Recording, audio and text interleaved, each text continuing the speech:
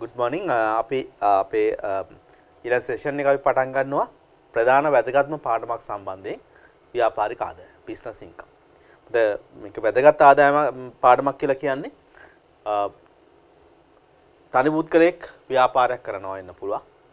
සමාගමක් ප්‍රධානම ආදායම් ප්‍රබව වෙන්නේ ව්‍යාපාරික ආදායම.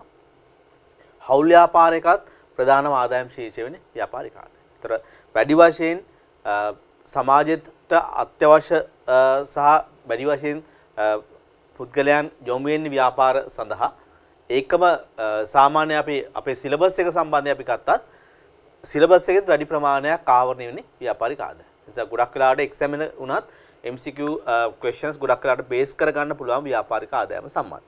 නිසා වැඩි වැදගත්කමක් වැඩි වේටේජ් එකක් තියාව පාඩමක් ව්‍යාපාරික ආදායම නිසා මේක ව්‍යාපාරික ආදායම් සම්බන්ධයෙන් හොඳ අවබෝධයක් ලබා ගැනීම කියන එක ඉතාමත් වැදගත් කාරණයක් වෙනවා. අපි මූලික වශයෙන් පටන් ගමු ව්‍යාපාරයක් කියන මොකද්ද? ව්‍යාපාරික විශේෂ දේවල් මොනවද? ව්‍යාපාරයක් සම්බන්ධයෙන් අපි සලකා බලාදී මොනවද විශේෂයෙන් අපි සලකා බලන්න අවශ්‍ය දේවල් ටික. ඒතර අපි ඉස්සෙල්ලම බැලුවොත් ව්‍යාපාරයක් කියන එක නිර්වචනය කරගන්න ඕන. මොකද්ද ව්යාපාරයක් කියලා කියන්නේ? right? ව්‍යාපාරයක් කියන එක නිර්වචනය කරද්දී නිර්වචනය කරද්දී මෙන්න මේ දේවල් ටික හඳුනා ගන්න පුළුවන්. Business has been defined to include trade, professions, vocations or isolated arrangement with business character however short or duration of the arrangement and past, present and prospective business. right? මෙන්න මේ ඩිෆිනේෂන් එකෙන් අපිට හොයාගන්න හඳුනා ගන්න පුළුවන් මේ ව්‍යාපාරය කියන එක නිර්වචනය තුළ කොච්චර ස්කෝප් එකක් අපි සලකා බලන්න අවශ්‍යද කියලා. right? trade, professions, vocations. right? Sometimes it may be a trade, sometimes it may be a profession, sometimes it may be vocations. Or isolated arrangement, isolated arrangement with business characters. However, short the duration of the arrangement. right? අපි trading කියලා කියන්නේ හඳුන ගන්න ඕන වෙනම ඒකට අපි කරුණු කීපයක් පස්සේ බලමු. වොකේෂන් ප්‍රොෆෙෂනල් කියලා කියන්නේ ප්‍රොෆෙෂනල් පුද්ගලයෙක් විදිහට යම් වෘත්තීය නිපුණතාවයක් එක්ක යම්සි කාර්යයක් නිරතලා තියෙනවා නම් ඒකත් අපිට ව්‍යාපාරයක් විදිහට සලකන්න පුළුවන්. වොකේෂන්ස් කියන යම් කෙනෙක් තමන්ගේ ජීවන වෘත්තියක් විදිහට කාර්යයක් විදිහට යම්සි දෙයක් නිරතලා ඉන්නවා නම් ඒකත් වොකේෂන් එකක් විදිහට හඳුනා ගැනීම කරන්න පුළුවන්. right? ඒතර ඕ isolated arrangement. But it's been isolated. හුදකලා ගනුදෙනු. right? තියෙන එක ගනුදෙනුවක් එන්න පුළුවන්. හැබැයි ඒක ගනුදෙනුවක් වුණත් ඒ ගනුදෙනුව බිස්නස් කැරක්ටර්ස් තියෙනවා නම් බිස්නස් නේචර් එක බිස්නස් ගෙද හඳුනා ගන්න දේවල් තියෙනවා නම් ෂෝට් ඩියුරේෂන් එකක් තුල මේ අරේන්ජ්මන්ට් එක වෙලා තියෙනවා නම් අන්නේ දේවල් උනත් අපිට සලකන්න වෙනවා ව්‍යාපාරයක් විදියට. අපි දැන් එක්සැම්පල් එකක් විදියට පුද්ගලයෙක් ඉඩමක් මිලදී ගන්න. right? ඔය පර්චේස් 15ක් ඒවා මිලදී ගන්න. මිලදී අරන් විකිණීම කරනවා. right? මාස 3ක් 4ක් ඇතුළත විකිණීම කරනවා. right? මේක සාමාන්‍යයෙන් ගත්තාම මේක ව්‍යාපාරික ආදායමක්ද? සාමාන්‍ය මේක ව්‍යාපාරික ආදායමක් නෙමෙයි මේක ආයෝජනයක් විදිහට සලකන්න මොකද ඉඩම් කියන එක ප්‍රාග්ධන වත්කම. හරි. හැබැයි මේ බිස්නස් එක කරන ආකාරය මේ බිස්නස් එක පටන් ගන්න ආකාරය තියෙන ක්‍රමවේද නැත්තම් ස්වභාවය අනුව මේක ව්‍යාපාරික ආදායමක්ද නැද්ද කියන එක තීරණය කරන්න වෙනවා. අපි දැන් මේ මෙයා මේ ඉඩම ගන්නේ මාට ලැබෙන ඉන්ෆර්මේෂන් එකක් මේ කිට්ටුවෙන් යනවා හයිවේ එකක්. මේ හයිවේ එක එනවුස් කරපු ගමම මේ පැත්ත තියෙන ඉඩම් ප්‍රමාණය වැඩි වෙනවා. right? දැන් හයිවේ එන්ට්‍රන්ස් එකක් තමයි මේ ඉස්ස මේ කිට්ටුවට එන්නේ. right? ඉඩමේ වටිනාකම අනිවාර්යෙන් 3-4 ගුණයකින් වැඩි වෙනවා. right? එයා ඒ ඉන්ෆර්මේෂන් එක කලින් දැනගෙන තමයි මෙයා මේක පර්චේස් කරන්නේ. එහෙනම් at the beginning ආරම්භක අවස්ථාවේ there's a profit motive. There's a profit motive. One point we have to consider. right?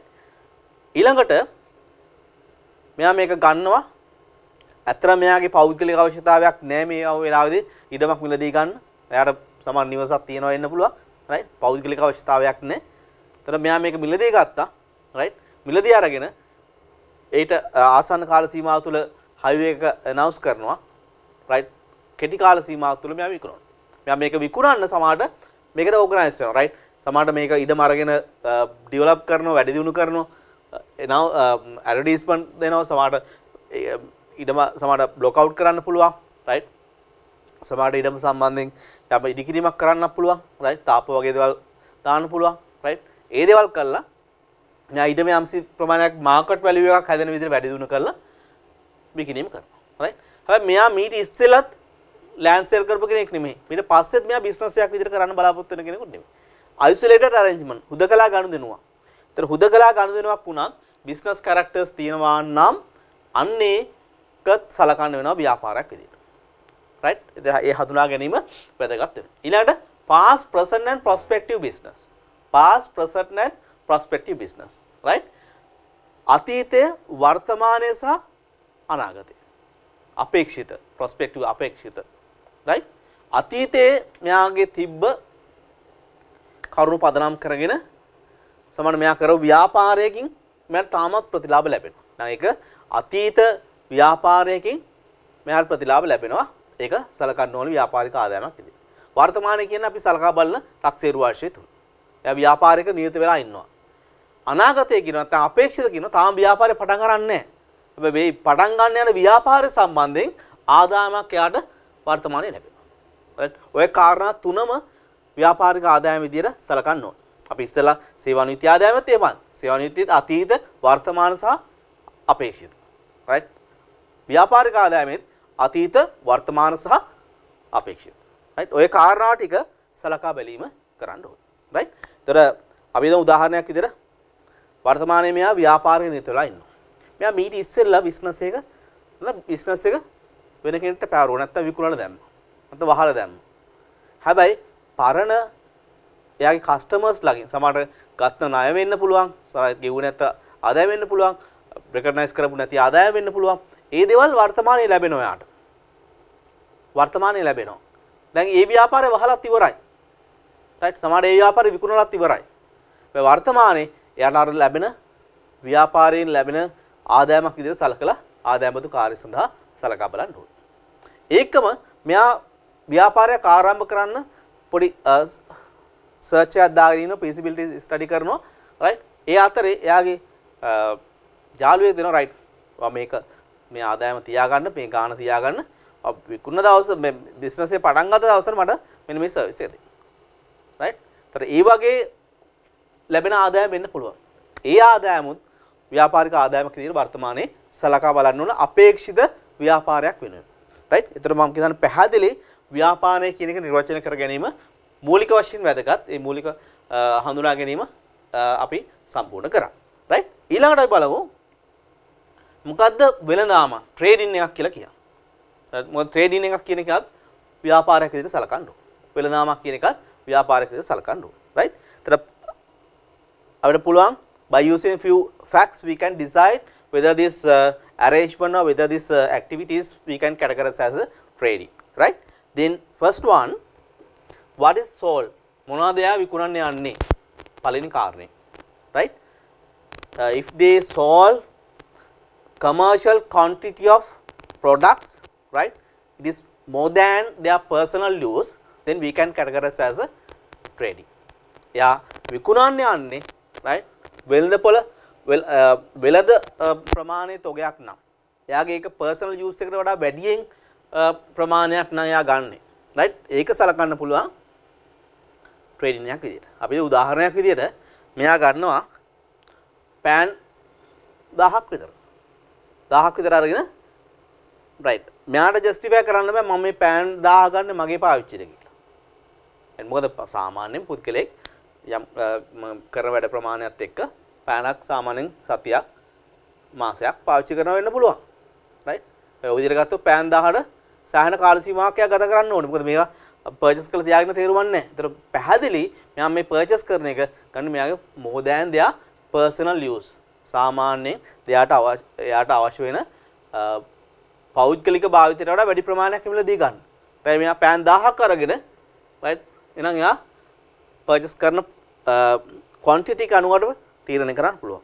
ඊළඟට length of ownership right කොච්චර කාල සීමාවක් මෙයා මෙයාගේ අයිතිය මේක තියන් ඉන්නවද right short duration එකක් නම් මෙයා පෑන් 1000 ගත්තා right සතියකින් තව කෙනෙක්ට විකුණලා දානවා මෙයාට ජස්ටිෆයි කරන්න බෑ මම පෑන් දාගත්තේ මගේ පෞද්ගලික පරිහරණයට පස්සේ මම හිතුණා මට මේක විකුණලා දාන්න කියලා. right? මොකද එයා ෂෝට් ඩියුරේෂන් එකක් තියාගෙන විකුණලා දානවා. right? එහෙනම් length of ownership කියන right කොච්චර කාල සීමාවක් මෙයා මෙයාගේ අයිතිය මේ මිලදී ගැනීම තියන් ඉන්නවද කියන එක වැදගත් වෙනවා සලකා බලන්න. now repetitions right නැවත නැවත ඒ same එකම දේ සිදු කිරීම. මෙයා මේ සතියේ පෑන් 1000ක් ගත්තා ඊළඟ සතියේ පෑන් 1000 ගන්නවා right එකම කාර්යේ ආයි නැවත නැවත යොමුලා ඉන්නවනම් පැහැදිලි මේක මෙයා ව්‍යාපාරික ගනුදෙනුවක් විදිහට තමයි මේක කරන්නේ. ඊළඟට supplementary work. Right? එයා පෑන් ටික අරගෙන යගෙන right. අනිත් කට්ටියට right. If you purchase this one, I will give the guarantee. Right? If it's not work properly, I will replace with the same another one. Right? තොර මෙයා කියනවා right. මෙයා මේකට supplementary works දෙනවා. warranties දෙන්න පුළුවන් right uh, then uh, after sale service දෙන්න පුළුවන් right ඒ වගේ අනිත් දේවල් දෙන්න ඊට අදාළ සමහර uh, works දෙන්න පුළුවන් right මෙයා කියන right pan ගන්න right මං ගා පොතුත් තියෙනවා. Right? ඒතර ඒ විදිහට එකිනෙක කනෙක්ට් සර්විස් දෙන්න පුළුවන්. Right? ඒතර ඒ වගේ දෙනවා නම් එතනදී එක ට්‍රේඩින් එකක් විදිහට සලකන්න පුළුවන්. ඊළඟ motivate activities and motivate for sale.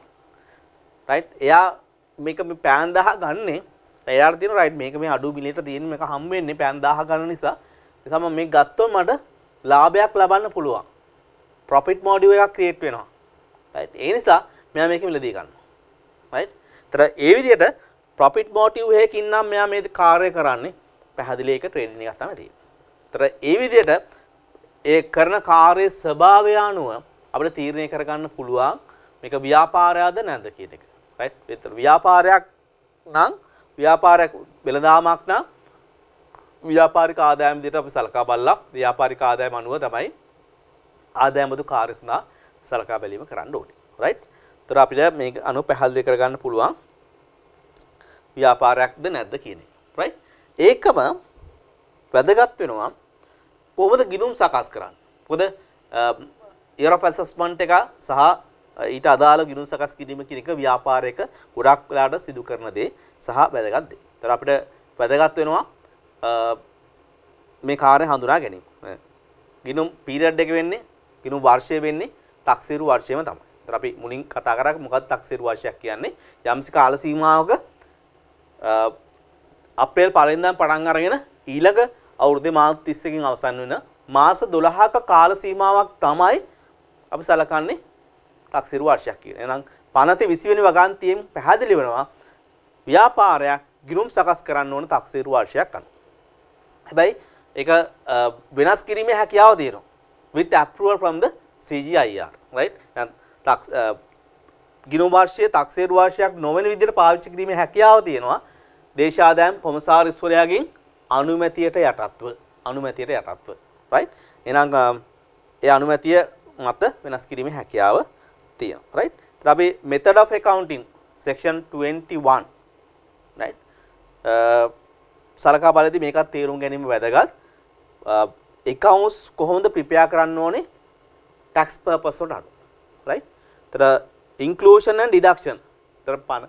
වැදගත් වෙනවා ව්‍යාපාරික ආදායම ගණනය කරද්දී ලාභ සහ ආදායම් ගණනය කරද්දී ටෙක්නිකල් වර්ඩ් එක හඳුන ගන්න. right? inclusion and deduction. right? එකතු කිරීම සහ අඩු කිරීම. දැන් ආදායමක් තියෙනවා නම් inclusion එකක්. එකතු කිරීම. Right පියදම් තියෙනවා නම් අඩු කිරීම deduction එකක්. right එහෙනම් මේ විදිහට තමයි අපි සලකන්නේ uh, බදු ගණනය කිරීම සඳහා inclusion and deduction shall made according to the general accepted accounting principle made according to the general accepted accounting principle ගිනුම් කරන uh, uh, පිළිගත් ගිනුම් මූලධර්මයන් අනුව හඳුනාගත්ත ආදායම් සහ වියදම් තමයි යොදා ගැනීම සිදු කරන්න ඕනේ. Individual shall uh, account income tax for a purpose on cash basis in calculating the individual income from the employment or investment. Right? Then uh, individual shall uh, account uh, they have to identify the income on cash basis mainly for uh, uh, employment income right but investment also it can be decided based on the cash basis that is related with the individual person right? තර සේවානිත්‍ය ආදායමයි ඉන්වස්ට්මන්ට් income එකයි මුදල් ලැබීමේ පදනම මත පදනම් කරගෙන හඳුනා ගැනීම කරන්න පුළුවන් ආදායම් බදු කාර්ය සඳහා right? Individual law entities conducting the business conducting the business shall con accounts for income tax purpose on accrued basis. තනි පුද්ගලයෙක් හරි right? සමාග entity එකක් හරි සමාගමක් හරි ව්‍යාපාරයක් සිදු කරනවා නම් ව්‍යාපාරික ආදායම හඳුනා ගන්න ඕනේ accrued basis. උපචිත පදනම අනුව. right? මුදල් පදනම අනුව නෙවෙයි. right? පැහැදිලි. මේකෙන් අදහස් කරන්නේ මුදල් පදනම අනුව ඒ දේවල් කරන්න බෑ කියලා. නමුත් with approval it can be done. right? then uh, other sources either cash or accrued basis can be decided right? whichever properly compute the person's income. Right දර එයා උපචිත පදන අනුව කෑෂ් මුදල් පදනම අනුව හරි ගණනය කිරීම කරන්න පුළුවන් අනිකුත් සෝසස් ටික ඒ මෙතඩ් වලින් වඩාත් නිවැරදිව ගිනුම් ඒ හඳුන ඉන්කම් එක හඳුන ගන්න වෙන්නේ මොන මෙතඩ් දෙක යනවා තීරණය කරන්න පුළුවන්. ඒතර මේ ගයිඩ්ලයින් එක අනුව තමයි සෙක්ෂන් 21 එකේ තියෙන තොරතුරු අනුව තමයි අපි තීරණය කරන්න ඕනේ කොහොමද accounts තියන්නේ ආදායම් බදු කාර්ය සඳහා. Right? තර section 21 එකේම තියෙනවා with approval from the CG method of accounting can be changed. If a CG shall satisfy that new method is necessary to properly compute person's income right? තර දේශාදායම් කොමසාරිස්වරයාගේ අනුමැතියට අනුව right? accounting method එක වෙනස් කරන්න හැකියාව තියෙනවා. හැබැයි ඒ රික්වෙස්ට් එක satisfy වෙනවා නම් දේශාදායම් කොමසාරිස්තුමා රයිට් ඒ අනුව තීරණය කරන්න පුළුවන්. එහෙම වෙනස් කරනකොට වෙනස් වීම නිසා කිසිම අගයක් අයින් වෙන්නත් බෑ වැඩියෙන් එකතු වෙන්නත් බෑ. ඒකත් පනද පැහැදිලිව ස්ථාන කරලා තියෙනවා. රයිට්? අයි පොඩ්ඩක් හඳුනගමු මොකද්ද කෑෂ් බේසිස් කියලා කියන්නේ මුදල් පදනම කියලා කියන්නේ මොකද්ද උපචිත පදනම කියලා කියන්නේ. රයිට්? ඒත් හඳුන ගන්න පුළුවන් වෙනස්කම් ටික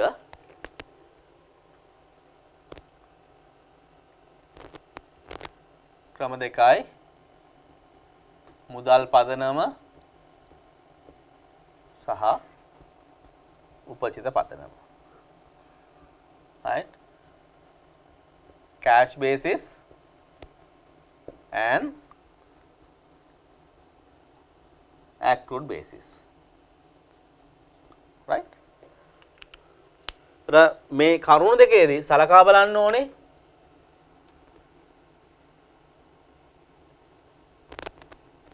ආදායම් සම්බන්ධයෙන්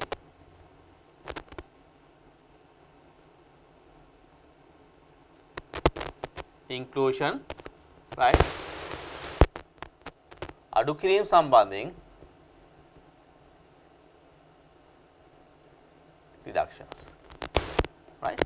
කරත් එහෙමයි.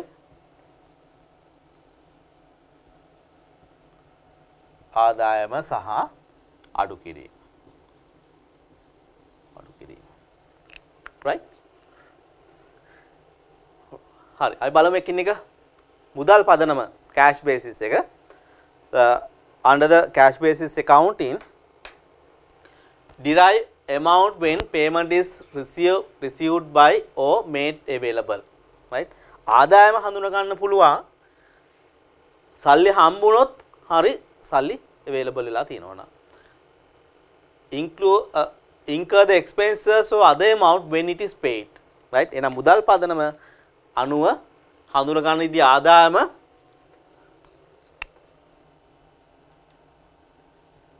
මුදල් ලැබීම හා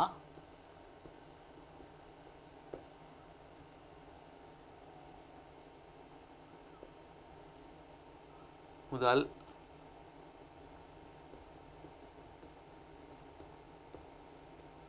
මුදල් ලැබීම හෝ මුදල් ලැබීමට හිමිකමක් තිබීම. මත තමයි හඳුන ගන්න පුළුවන් ආදායම.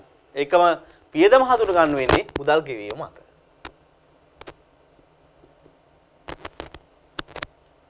ගෙවීම කියන කාරණය මත තමයි අඩු කිරීම කරන්න පුළුවන්. කෑෂ් බේසිස් එක සරලව මේ දේ අපිට හඳුනා ගන්න පුළුවන්. right? ඊළඟට බලමු උපජිත පදනම. accrued basis. derive amount when it is receivable by the person. ආදායම හඳුනා ගන්න පුළුවන් මුදල්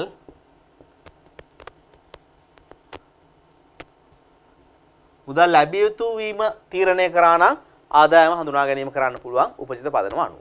right? ඒකම incur the expenses or other deductions when it is payable. right? අඩු කිරීම හඳුනා ගන්න පුළුවන් මුදල් ගෙවීම කියන පදනම අනුව. ගෙවීම හඳුනාගත්ත නම් ඒ දේ තීරණය කරන්න පුළුවන්. ඒතර මුදල් පදනම සහ උපජිත පදනම කියන පැහැදිලි සරල දෙයක්. රයිට් ඒ අනුව අපිට තීරණය කරගන්න පුළුවන් කොහොමද මේ දේ ගණනය කිරීම කරන්න. රයිට්. නම් ඒකට වෙන වෙනම සෙක්ෂන් 22 23 තියෙනවා. ඒ අනුව තීරණය කරගන්න පුළුවන්. රයිට්. හරි. අපිට මූලික අවබෝධයක් ගත්තා. ව්‍යාපාරය කියන එක හඳුනාගත්තා. ව්‍යාපාර අදාළ වෙනදාම කියන එක හඳුනාගත්තා. රයිට්. ව්‍යාපාරයේ නිර්වචන සහ ඒ දේවල් ටික හඳුනාගත්තා. ඒකම අපි හඳුනාගත්තා. ගිණුම් කරන අවශ්‍යතාවය සහ ගිණුම් කරන ක්‍රමවේදයන් මොනවද කියලා. රයිට්. ඒ දැනුමත් එක්ක අපි ඊළඟට යනවා ව්‍යාපාරික ආදායම් පැත්තට. ඒතර ව්‍යාපාරික ආදායමට ගණනය කරා සලකා බැලෙද්දී ප්‍රධාන වශයෙන් කොටස් දෙකක් තියෙනවා. මොකද කොටස් දෙක? ව්‍යාපාරයේ ආදායම් පැත්ත සහ වියදම් පැත්ත. රයිට්. ආදායම් පැත්ත සහ වියදම් පැත්ත. ඒතර මූලික වශයෙන් අපි හඳුනා ගැනීමක් කරමු. විශේෂයෙන් එක්සෑම් පර්පස් එකට ගණනය කිරීම කරද්දී රයිට් මොනවද අපි කරන්න ඕන ගැලපි මං ඇයි එක්සෑම් පර්පස් එකට මේක ගණනය කරද්දි කියලා සටහන් කරේ? සාමාන්‍යයෙන් පනතේ නීතිමය අවශ්‍යතාවය අනුව අපි ගණනය කරද්දි පදනම් කරගන්න වෙන්නේ අපි අර ඉස්සෙල්ලා කතා කරා වගේ හඳුනාගත්ත ක්‍රමවේදය කොහොමද? ව්‍යාපාරයේ ගොස් ඉන්කම් එක හොයා ගන්නවා ඒකෙන් exempt amount එක final withholding payment අයින් කරනවා. මෙතන තව එකතු කරන්න පුළුවන්. දැනටමත් employment income එකේ ආදායමක් විදිහට consider කරන ඒ දේ අයින් කරන්න පුළුවන්. ඊළඟ liable income එක හඳුනා ගන්නවා. allowable deductions ටික අඩු කරනවා. right? Assessable income from the business we can decide. හරි? එතන සාමාන්‍යයෙන් පනතේ අවශ්‍යතාවය අනුව ගණනය කිරීම right? හැබැයි ව්‍යාපාර ශුද්ධ ලාභය ගණනය කරලා තියෙනවා. ශුද්ධ ලාභය ගණනය කරපු තැනින් සාමාන්‍ය අපි ක්‍රමවේදයක් විදිහට පරණ ආදායම් බදු පනතින් ඉඳන් ඉස්සරහට ආවේ ධන ඍණ වගාවක් පාවිච්චි කරලා ගණනය කිරීම කරා. බයි දේශාධන දෙපාර්තමේන්තුව 2018 19 කාල සීමාවට අදාළව නිකුත් කරපු ආදායම් වාර්තාවෙත් පැහැදිලි දල ආදායම් ටික ගත්තා වියදම් ටික අඩු කරලා ගණනය කිරීම කරනවා සාමාන්‍ය මේ ක්‍රමයයි අනුගමනය කළා තියෙන්නේ. රයිට්. එතකොට හැබැයි මේ දක්වා ඉන්ස්ටිටියුට් එක සහ නිකුත් කරපු ලේඛන අනුව එක්සෑම් පර්පස් එකට අපි ධන ඍණ වගුව පාවිච්චි කරන්න පුළුවන්. රයිට්? අපි ඉස්සෙල්ලා අනිත් දේවල් කතා කරන්න ඉස්සෙල්ලා අපි යන් ඉස්සෙල්ලා ධන ඍණ වගුව කියන්නේ කියන්නේ මොකද්ද? කොහොමද මේක භාවිතා කරන්නේ? රයිට්? මොකද හැම වෙලාවෙම ව්‍යාපාරික ආදායම කියන එක ගිණුම් එක්ක තමයි සංසන්දනය කළ ගණනය කිරීම කරන්නේ. රයිට්? ගිණුම් වල සංසන්දනයක් නැතුව අපි වෙන් කළ හඳුනාගෙන තීරණය කරන්න බෑ. රයිට් ඒ නිසා ගිනුම් සංසන්දනයත් එක්ක තමයි ඉස්සරහට යන්නේ. රයිට් බලමු ධන ඍණ වගුව තියෙනවා. අපි පටන් ගන්නවා net profit before tax. නම් ගිනුම අනුව සකස් කරපු ලාභයෙන් අපි පටන් ගන්න පුළුවන්. රයිට් ධන අගයක් තියෙනවා නම් ලාභයක් තියෙනවා නම් ධන පැත්තේ සටහන් වෙනවා. අලාභයක් තියෙනවා නම් ඍණ පැත්තේ ඒක සටහන් කිරීම කරනවා. රයිට් අපි එතනින් අයින් කරන කරුණු කීපයක් තියෙනවා. මොනද කරුණු එක exempt amount right? ව්‍යාපාරික ආදායම තුනුයි. නිදහස් වටිනාකම් තියෙනවා නම් ඒ දේවල් අයින් කරන්න පුළුවන් right?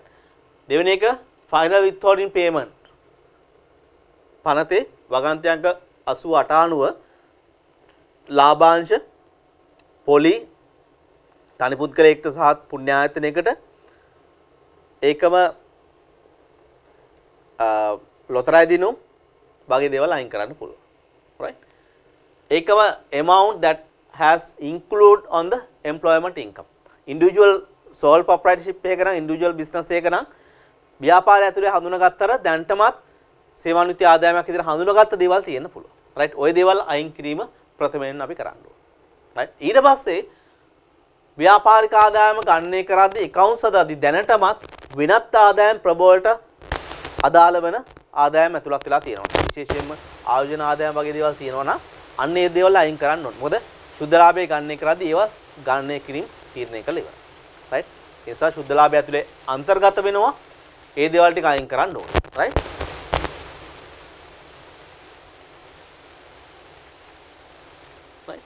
ඒකම ව්‍යාපාරික ආදායම් පැත්තෙන් ගත්තම ව්‍යාපාරික ආදායම තීරණය කරද්දී ආදායම් බදු කාර්ය සඳහා මේක ආදායමක් විදිහට හඳුනගෙන නැහැ. හැබැයි ව්‍යාපාරික සඳහා ගන්න කර ටැක්ස් වලදී ආදායමක් විදිහට සඳහා හඳුන ගන්න ඕනේ accounts වල හඳුනගෙන නැහැ. ඒ වගේ දේවල් එකතු කිරීම කරන්න ඕනේ. right දැන්ටමත් අඩු කරපු දේවල් තියෙනවා නම් ආදායම් බදු කාර්ය සඳහා අඩු කරන්න බැරි දේවල් අයින් කරන්න ඕනේ. right විශේෂයෙන් අඩු කරන්න පුළුවන් allowable deductions තියෙනවා නම් accounts වලදී සලකා බලපු නැති දේවල් එකතු කරන්න. Right විතර ඒ ඒ අඩු කිරීම පැහැදිලි මම හිතන්නේ right? අපි accounts වලින් පටන් ගත්තා exempt amount එක අයින් කරා final withholding amount අයින් කරා uh, employment income එකට ඇතුළත් වෙන දේවල් අයින් කරා right? හැබැයි දැන්ටමත් consider කරලා නැති uh, වෙනත් ආදායම් තියෙනවා නම් tax වෙන්න ඕන දේවල් ඒව එකතු කරා. Uh, අඩු කරන්න බැරි වියදම් ටික අයින් කරා right? අඩු කරන්න පුළුවන් ඩිඩක්ෂන් දෙක අඩු කරා. ධනසාර ඉනාගුවන් වල එකතු අරගෙන අවසානගේ තීරණය කරා. ඔක සරලව ওই විදිහට තීරණය කරන්න පුළුවන්. මේ තවදුරටත් මේක අපි කතා කරනකොට තවත් හඳුනා ගැනීමක් කරන්න පුළුවන්. ආදායම් සහ වියදම් සම්බන්ධයෙන් කොහොමද මේක තීරණය කරන්නේ? මොකද ගොඩක් ලාවට දරුවන් ප්‍රශ්නයක් තියෙනවා. ටික මුල් කාල සීමාව ඉගෙන ගන්නකොට ලේසි. මතකයි. ඒ පස්සේ අමතකයි මේක එකතු කරනවද අඩු කරනවද? right? අපි ගොඩක් ලා දකිනවා එක්සෑම් පේපර්ස් වලදී එකතු කරන ඕන එක අඩු කරනවා අඩු කරන්න ඕන එකතු කරනවා. සමහර අයට හිතා ගන්න බෑ එකතු කරනවා අඩු කරන දෙකම කරනවා. ඒ නිසා ඔබගේ ආන්සර් එක පැහැදිලිව තීරණය තීරණය කළා සටහන් කිරීම කරන්න. මොකද එහෙම නැත්නම් එක්සැමිනේට ඒ දේ හරියට තීරණය කරගන්න බැරි වෙනවා. ඔබට හිමි මාක්ස් ප්‍රමාණයක් ලැබෙන්නේ නැති වෙනවා. ඒ නිසා මෙන්න මේ දේ පැහැදිලිව හඳුනා ගන්න වැදගත් වෙනවා. රයිට්? ආදායමකදී කොහොමද මේක තීරණය කරන්නේ? වියදම් පැත්තෙන් කොහොමද මේක තීරණය කරන්නේ? රයිට්? බලන්න ආදායම සම්බන්ධයෙන් මම කරුණු කීපයක් ගත්තා. accounts වලදී කොහොමද එන්නේ? tax වලදී මොකක්ද අවශ්‍යතාවය? අපි අවසානයේ මොකද්ද කරන්න යන්නේ? right? අපි අවසානයේ මොකද්ද කරන්න යන්නේ? right? තර පළවෙනි එක අපි ගමු accounts prepared by adding the income and same consider for tax purpose. right? income එකක් විදියට දැනටමත් accounts වල හඳුනාගෙනත් ඉවරයි. tax වලත් accounts eh, income එකක් විදියට සලකා බලන්න ඕනේ. එහෙනම් ඇඩ්ජස්ට්මන්ට් එකක් නැහැ මොකද සමානයි නේද? දැන් අපි accounts පටන් ගත්ත අවසන් තැනින්දී පටන් අරන් ඉස්සරහට යන්නේ නේ. එහෙනම් accounts වලයි තියෙන එකයි tax වල තියෙන එකයි දෙකම වියතු දේ සමානයි. එහෙනම් වෙනස්කමක් නැත්තම් කිසිම ගණනය කිරීමක් කරන්න අවශ්‍යතාවයක් නැහැ. හරි අඩු කරන්න හෝ එකතු කරන්න අවශ්‍යතාවයක් නැහැ. හැබැයි ඒක වැදගත් කරුණක් නම් eh, exam purpose ඒක සටහන් කරලා තියෙන මෙන්න මේ හේතු නිසා මේක tax වලට ආදායමක් විදිහට සලකනවා කියලා. ඒක වැදගත් වෙනවා. right? ඊළඟට account prepared by adding the income but it should not be add for the tax purpose. It should not be considered as an income for the tax purpose. accounts වලදී income එකක් වෙනවා right හැබැයි tax වලදී මේක income එකක් නෙමෙයි. දැන් adjustment එකක් කරන්න ඕනේ වෙනසක් තියෙනවා නම් adjustment එකක් කරන්න ඕනේ. වෙනසක් තියෙනවා නම් adjustment එකක් කරන්න ඕනේ. හරි? දැන් කොහොමද adjustment එක කරන්නේ? මේක එකතු කරනවද අඩු කරනවද? දැන් accounts වලදී ආදායමක් හඳුනගෙන ඉවරයි. එහෙනම් ලාභය වැඩි වෙලා තියෙනවා මේ ආදායම නිසා. right? එහෙනම් ඒක අයින් කරන්න නම් මොකද tax වලදී මේක ආදායමක් නෙමෙයි. එහෙනම් අයින් කරන්න අපි කරන්න ඕනේ ඍණ පැත්තේ සටහන් කරන්න ඕනේ. අපි උදාහරණයක් විදිහට නිදහස් ආදායම් ගන්න. accounts හදද්දී tax නිදහස්ද නැද්ද කියන එක තීරණය කළා නැහැ. accounts වලදී ආදායමක් විදිහට රෙකෝඩ් කරලා ඉවරයි. right? tax වලදී tax වලදී මේක ආදායමක් වෙන්නේ නැත්නම් නිදහස් නම් අපි ඒක අයින් කරන්න ඕනේ ඍණ පැත්තේ සටහන් කිරීම කරන්න ඕනේ. ඍණ පැත්ත සටහන් කිරීම කරන්න. එහෙනම් ඒක පැහැදිලි කොහොමද අපි ඒක තීරණය කරන්න කියලා. right? ඊළඟට accounts prepare with, without adding the income but it should be add for the tax purpose. It should be add for the tax purpose. එහෙනම් accounts හදද්දි මේක ආදායමක් නෙමෙයි not a income right? හැබැයි tax වලදී මේක ආදායමක් වෙලා තියෙනවා. tax වලදී මේක ආදායමක් වෙලා තියෙනවා. එහෙනම් ඒ ආදායම සලකා බලන්න ඇඩ්ජස්ට්මන්ට් එකක් කරන්න ඕනේ. මොකද ඩිෆරන්ස් එකක් තියෙනවා accounts එක්ක. දැන් එකතු කරනවද අඩු කරනවද? දැන් accounts වලදී ආදායමක් වෙලා නැහැ. එහෙනම් අගේ අඩුවෙන් තියෙන්නේ. ටැක්ස් එකදී වැඩි කරන්න ඕනේ. දැන් වැඩි වෙන හැම එකක්ම ඔය සටහන් කරන්න ඕනේ ධන පැත්තේ රයිට් ලාභය අඩු වෙන හැම එකක්ම අපි සටහන් කරනවා ඍණ පැත්තේ. ලාභය වැඩි වෙන හැම අගය ගැලපිල්ලම සටහන් කරනවා ධන පැත්තේ රයිට් ඔය අන්ඩර්ස්ටෑන්ඩින් එක ඉතා වැදගත් ව්‍යාපාරික ආදායම සම්බන්ධයෙන් ගන්න එක රද්දි රයිට් ඊළඟට අපි බලමු රිඩක්ෂන් සම්බන්ධයෙන්.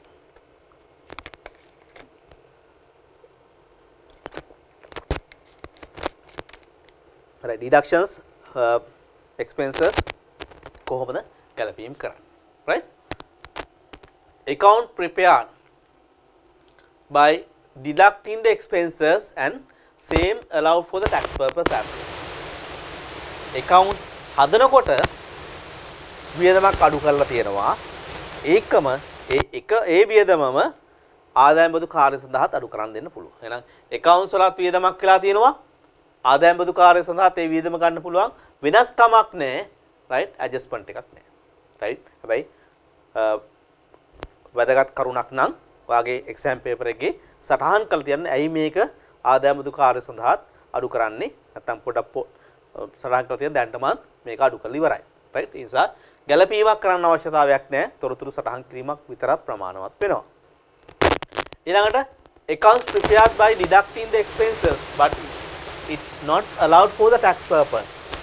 Account prepared by deducting the expenses but it not allowed for the tax purpose. accounts වල expense එකක් විදිහට තියෙනවා. නමුත් ආදායම් බදු කාර්ය සඳහා මේක expense එකක් නෙමෙයි. ආදායම් බදු කාර්ය සඳහා මේක expense එකක් නෙමෙයි. එහෙනම් වෙනස්කමක් තියෙනවා adjustment එකක් කරන්න අවශ්‍යයි. වෙනස්කමක් තියෙනවා adjustment එකක් කරන්න අවශ්‍යයි. right? එහෙනම් මොකද්ද කරන adjustment එක? accounts වලදී වියදමක් විදිහට හඳුනගෙන ඉවරයි. right? දැන් ටැක්ස් වලදී මේක වියදමක් නෙමෙයි. accounts වල වියදමක් විදිහට හඳුනගෙන ඉවරයි කියලා කියන්නේ ආදායමෙන් වියදම අඩු කරලා ලාභය අඩු වෙලා දෙන්නේ. එහෙනම් මේක වියදමක් විදිහට දෙන්නේ නැහැ කියලා කියන්නේ ලාභය වැඩි කරන්න ඕන. ලාභය වැඩි කරන්න නම් අපි සරහන් කරන්නේ ධන පැත්තේ. සටහන් කරන්නේ ධන පැත්තේ. right? මම දැන් පැහැදිලියි අපි ඒක ඇඩ්ජස්ට්මන්ට් එකක් කරන්න ඕනේ. ඒක ධන පැත්ත සටහන් කරන ඇඩ්ජස්ට්මන්ට් එකක් කරන්න ඕනේ.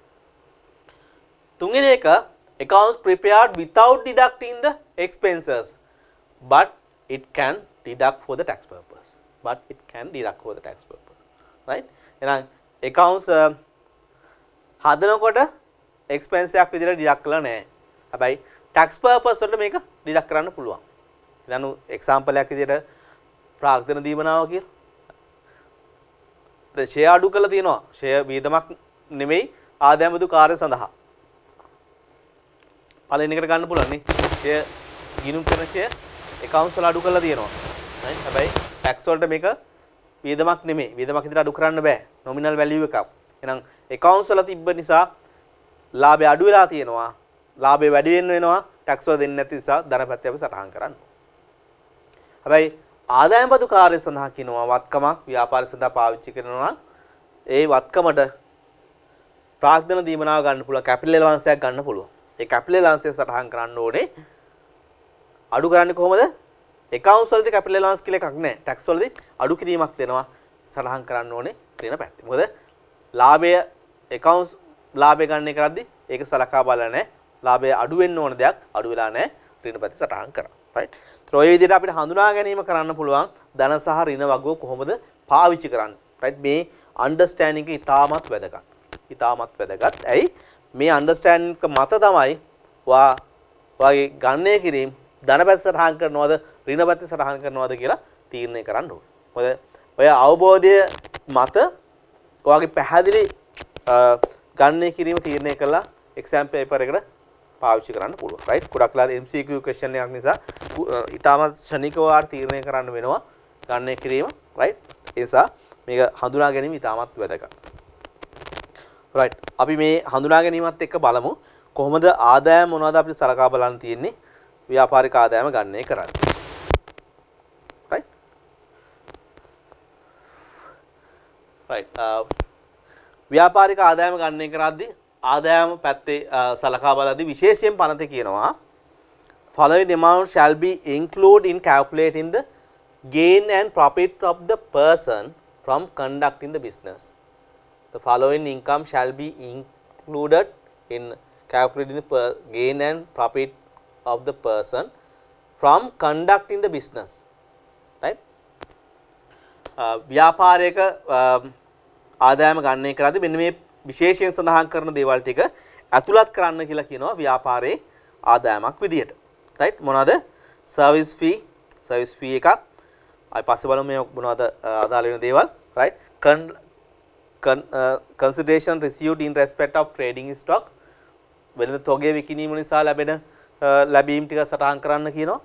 gain from realization of capital asset and liabilities of the business as uh, calculated right gain එකක් හරි gain එකක් capital asset විකිණීමෙන් හරි um, වගකීම් විකිණීමෙන් ලැබෙන ලාභයක් සටහන් කරන්න ව්‍යාපාර um, වත්කමක් විකිණීමෙන් ලැබෙන ලාභයක් ඇතුළත් කරන්න ඕනේ amount to be uh, included on realization of persons uh, depreciable asset of the business. තර ව්‍යාපාර සඳහා වත්කමක් uh, පාවිච්චි කරලා ඒ වත්කම ව්‍යාපාරය සඳහා පාවිච්චි කැපිටල් එලවන්ස් අරන් තියෙනවා නම් ඒ කැපිටල් එලවන්ස් එකට අදාළව වත්කම් පස්සේ විකුණනවා නම් ඒක යොදා ගන්න පුළුවන් right? ඒක ඒ ලැබෙන ලාභය නැත්නම් මුදල ව්‍යාපාරයේ ආදායමක් විදිහට සලකන්න ඕනේ. Amount derived as a consideration for accepting the restriction of the capacity of conducting the business right? කතා කරන්න ඕනේ right?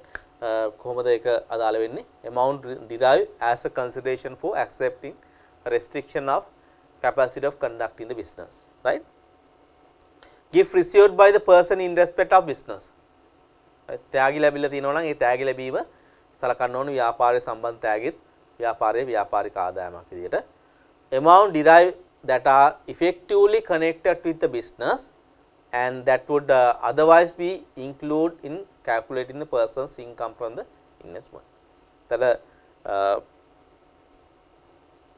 සාමාන්‍යයෙන් මේක uh, ආයෝජන ආදායමක් හැබැයි ව්‍යාපාරයත් එක්ක ඍජුව සම්බන්ධ වෙන ආදායම් තියෙනවා නම් ඒ ආදායම් ව්‍යාපාරික ආදායම් විදිහට සලකන්න ඕනේ. අපි මුලින් කතා කරා වගේම මේ ආදායම් ප්‍රභව හතරෙන් තියෙනවා ප්‍රමුඛතා uh, අනුපිළිවෙලක්. පළවෙනි ප්‍රමුඛතාවය සේවානිවෘත්ති ආදායමට, දෙවෙනි ප්‍රමුඛතාවය ව්‍යාපාරික ආදායමට, තුන්වෙනි ප්‍රමුඛතාවය ආයෝජන ආදායම්, හතරවෙනි ප්‍රමුඛතාවය අද අනිකුත් ආදායම්. එතකොට පළවෙනි ප්‍රමුඛතාවය දෙවෙනි එක ව්‍යාපාරික ආදායම, ආයෝජන ආදායම යන්නට ඉස්සෙල්ලා ඒ ආදායම ඉෆෙක්ටිව්ලි කනෙක්ටර් ඍජුව සම්බන්ධතාවයක් තියෙනවා නම් ව්‍යාපාරයත් එක්ක ඒ ආදායම් සලකන්න ඕනේ ව්‍යාපාරික ආදායමක් විදිහට. එහෙම නැත්නම් මේක ආයෝජන ආදායමක් විදිහට අපිට සලකන්න පුළුවන්කමක් තියෙනවා. other amount required to be included under this act. එහා සමාන අනිකුත් ලැබීම් තියෙනවා නම් ඒ දේවල් ව්‍යාපාරික ආදායම විදිහට සලකන්න ඕන. ওই ටික තමයි ව්‍යාපාරය කියන එකට ආදායම් පැත්තෙන් සලකා බලන්න අවශ්‍ය දේවල් ටික අපි ඒක එකිනෙකව විස්තර කරන් යන් ඉස්සරහට. පළවෙනි එක තමයි සර්විස් ඉන්කම්. Service fee. සේවා සැපීමේ ලැබෙන දේවල්. right service mean payment to extent to which based the market value it is uh, reasonably attributable to the service rendered by the business by a business of person but exclude interest rent and royalty. යම් පුද්ගලයෙක් මුදලක් ලැබීමට යටත්ව සපයන යම් සේවාවක් වෙනුවෙන් ලැබෙන market value එක සලකන්න ඕනේ සර්විස් එකක් විදිහට ඩිෆිනිෂන් එකට අනුව. Right? section 195 එකේ ඩිෆිනිෂන් එකක් අන්තර්ගත වෙලා තියෙනවා. Right? නම් යම් සේවාවක් සැපීම ඒ සේවා සැපීම මත ඒ පුද්ගලයාට ලැබෙන මුදල right? වෙන්දපොළ වටිනාකම සලකන්න ඕනේ සේවා සැපීමට අදාළ ආදායමක් විදිහට right? දෙවෙනි එක consideration received in respect of trading stocks. Right? වෙන්ද තොගේ සම්බන්ධයෙන් සටහන් කරනවා. Trading stocks mean asset owned by the person that are sold or intended to be sold in the ordinary course of business of the person work in progress on such asset inventory of the material to be incorporated into such asset and consumable stores right? තර ඩිෆිනේෂන් එකක් දීලා තියෙන ඩිෆිනේෂන් අපි තවදුරටත් බලමු යම් වත්කමක් විකුණන්න බලාපොරොත්තුව තියෙන යම් වත්කමක් එයාගේ සාමාන්‍ය ප්‍රධාන ව්‍යාපාරය කාර්යයට සම්බන්ධව අපිට සලකා බලන්න පුළුවන් වෙළඳ තෝගය කියලා. මීට ඇතුළත් කරන්න පුළුවන් අපිට work in progress right? වර්තමානයේ නිවමින් පවතින භාණ්ඩ ඒකම inventories of the materials අරන් තියෙනවා නම් සහ consumable stores consumable items තියෙනවා නම් ඒ දේවල් සලකා බලන්න පුළුවන්. ඒතර මේ දේවල් විකිණීම මත මෙයාට ආදායමක් ලැබෙනවා නම් ඒ ආදායම සලකන්න ඕන ව්‍යාපාරික ආදායමක් විදිහට. ප්‍රධාන වශයෙන් විකිණීම මත යාට ලැබෙන ආදායම තමයි සේල්ස්. නේද? ඒ සේල්ස් කියන එක සලකා බලන්න ඕනේ මෙයාගේ කන්සිඩරේෂන් එක විදිහට. නැත්නම් ඒ වෙළඳතොගේ සම්බන්ධයෙන් ලැබෙන ලැබීම විදිහට සලකා බලන්න ඕනේ. right. ඊට අමතරව අපිට උදාහරණයක් විදිහට මේ ආයතනයේ යම්කිසි ගින්නක් ඇති වුණා. right වෙළඳතොගේ හානි වුණා. ඒකට ලැබෙනවා ඉන්ෂුරන්ස් පේමන්ට් එක. වෙළඳතොගේ සම්බන්ධ. ඒකත් කන්සිඩරේෂන් එකක් නේද? ඒ කන්සිඩරේෂන් එක සලකන්න ඕනේ මේ යටතේ. right? right. තුන්වෙනි එක gain from realization of capital asset and liabilities of the business as calculated. Gain from realization of capital asset and liabilities of the business. ව්‍යාපාරයේ පාවිච්චි කරන ව්‍යාපාරය තුල අන්තර ඇතුළත් වෙන ප්‍රාග්ධන වත්කම් සහ වගකීම් විකිණීම නිසා ලැබෙන ලාභය ව්‍යාපාරික ආදායමක් විදිහට සලකන්න ඕනේ. right? ඒතර ඩිෆිනිෂන් එකක් තියෙනවා uh, capital asset සම්බන්ධයෙන් right? Capital asset mean each of the following asset. Land and building, right? Land and building, uh, ඉඩම් සහ ගොඩනැගිලි, membership interest in company, partnership and trust. right? කොටස් අයිතිය සමාගම කොටස් අයිතිය හවුල් ව්‍යාපාරයේ කොටස් අයිතිය ට්‍රස්ට් එකේ කොටස් අයිතිය සලකන්න පුළුවන්. security or other financial asset. අනිකුත් තියෙන uh, financial asset ටික සලකන්න පුළුවන්. An option right to other interest in asset refer to foregone para but exclude trading stocks and dependable asset. මොකද trading stock අපි වෙනම සලකා බලනවා ඩිප්ෂර්ස් වෙනම සලකා බලනවා. ওই දෙක ඇරෙන්න අනිත් දේවල් ටික සලකා බලන්න පුළුවන්. ප්‍රාග්ධන වත්කමක් විදියට. right. හැබැයි බිල්ඩින් එකක් විතර තිබ්බට බිල්ඩින් එක ඩිප්ෂබල් ඇසට් එකක් වෙනව නම් කැපිටල් ඇසට් එකක් බවට පත් වෙන්නේ. right. කැපිටල් ඇසට් uh, කියන තැනින් අයින් වෙලා යනවා uh, ඩිප්ෂබල් ඇසට් එකක් වෙනවා නම්. right. ඒ අනුව ඒ uh, විකිණීම නිසා ඇතිවෙන ගේන් එක right සලකා බලන්න ඕන ව්‍යාපාරික ආදායමක් විදියට. හතරවෙනි එක amount required to be included by second and fourth schedules on realization of person's dependable asset of the business. ෂේ කරන්න පුළුවන් වත්කමක් විකිණීම නිසා මෙයාට ලැබෙන අගය සලකන්න ඕනේ ව්‍යාපාරික ආදායමක් විදියට.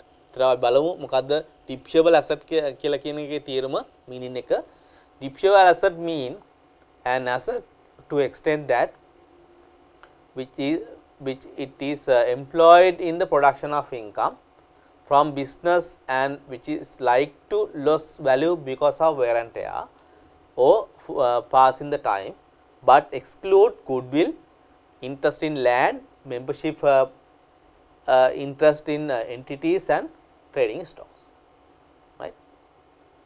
තොට පැහැදිලි යම් uh, වත්කමක් ව්‍යාපාර කාර්යයක් සඳහා ආදායම උත්පාදනය කිරීමේ කාර්යස production of income ආදායම උත්පාදනය කාර්ය සඳහා පාවිච්චි කරලා තියෙනවා නම් ව්‍යාපාරයක.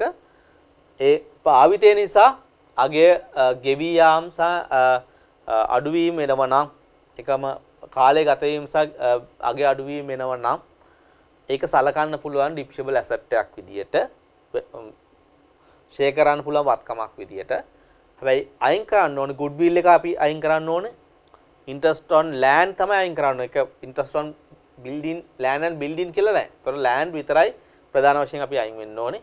membership interest in entities and trading stocks. ඒතර අපි දැන් ෆර්නිචර් ෂොප් එකක ටේබල්ස් චෙයාර්ස් කෙනාලා තියෙනවා විකුණන්න. ට්‍රේඩින් ස්ටොක් එකක්.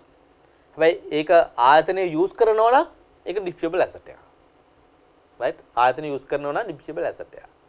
රයිට් ඒ විදිහට වර්ගීකරණය අනුව නිර්වචනය අනුව ප්‍රතිීර්ණය කර ගන්න පුළුවන් මොනවද ෂේ කරන්න පුළුවන් වත්කම් මොනවද මොනවද ප්‍රාග්ධන වත්කම් වෙන්නේ. Right. ඊළඟ එක amount derived as a consideration for accepted uh, restrictions on the capacity to conduct the business. Amount derived as a consideration for accepting a restriction on capacity to conduct the business. Right. මේක අලුත් දෙයක් පොඩ්ඩක් හඳුනා ගැනීම වැදගත්. Right. Uh, යම් කිසි කෙනෙක් ව්‍යාපාරයක් ආරම්භ කරන්න යනවා.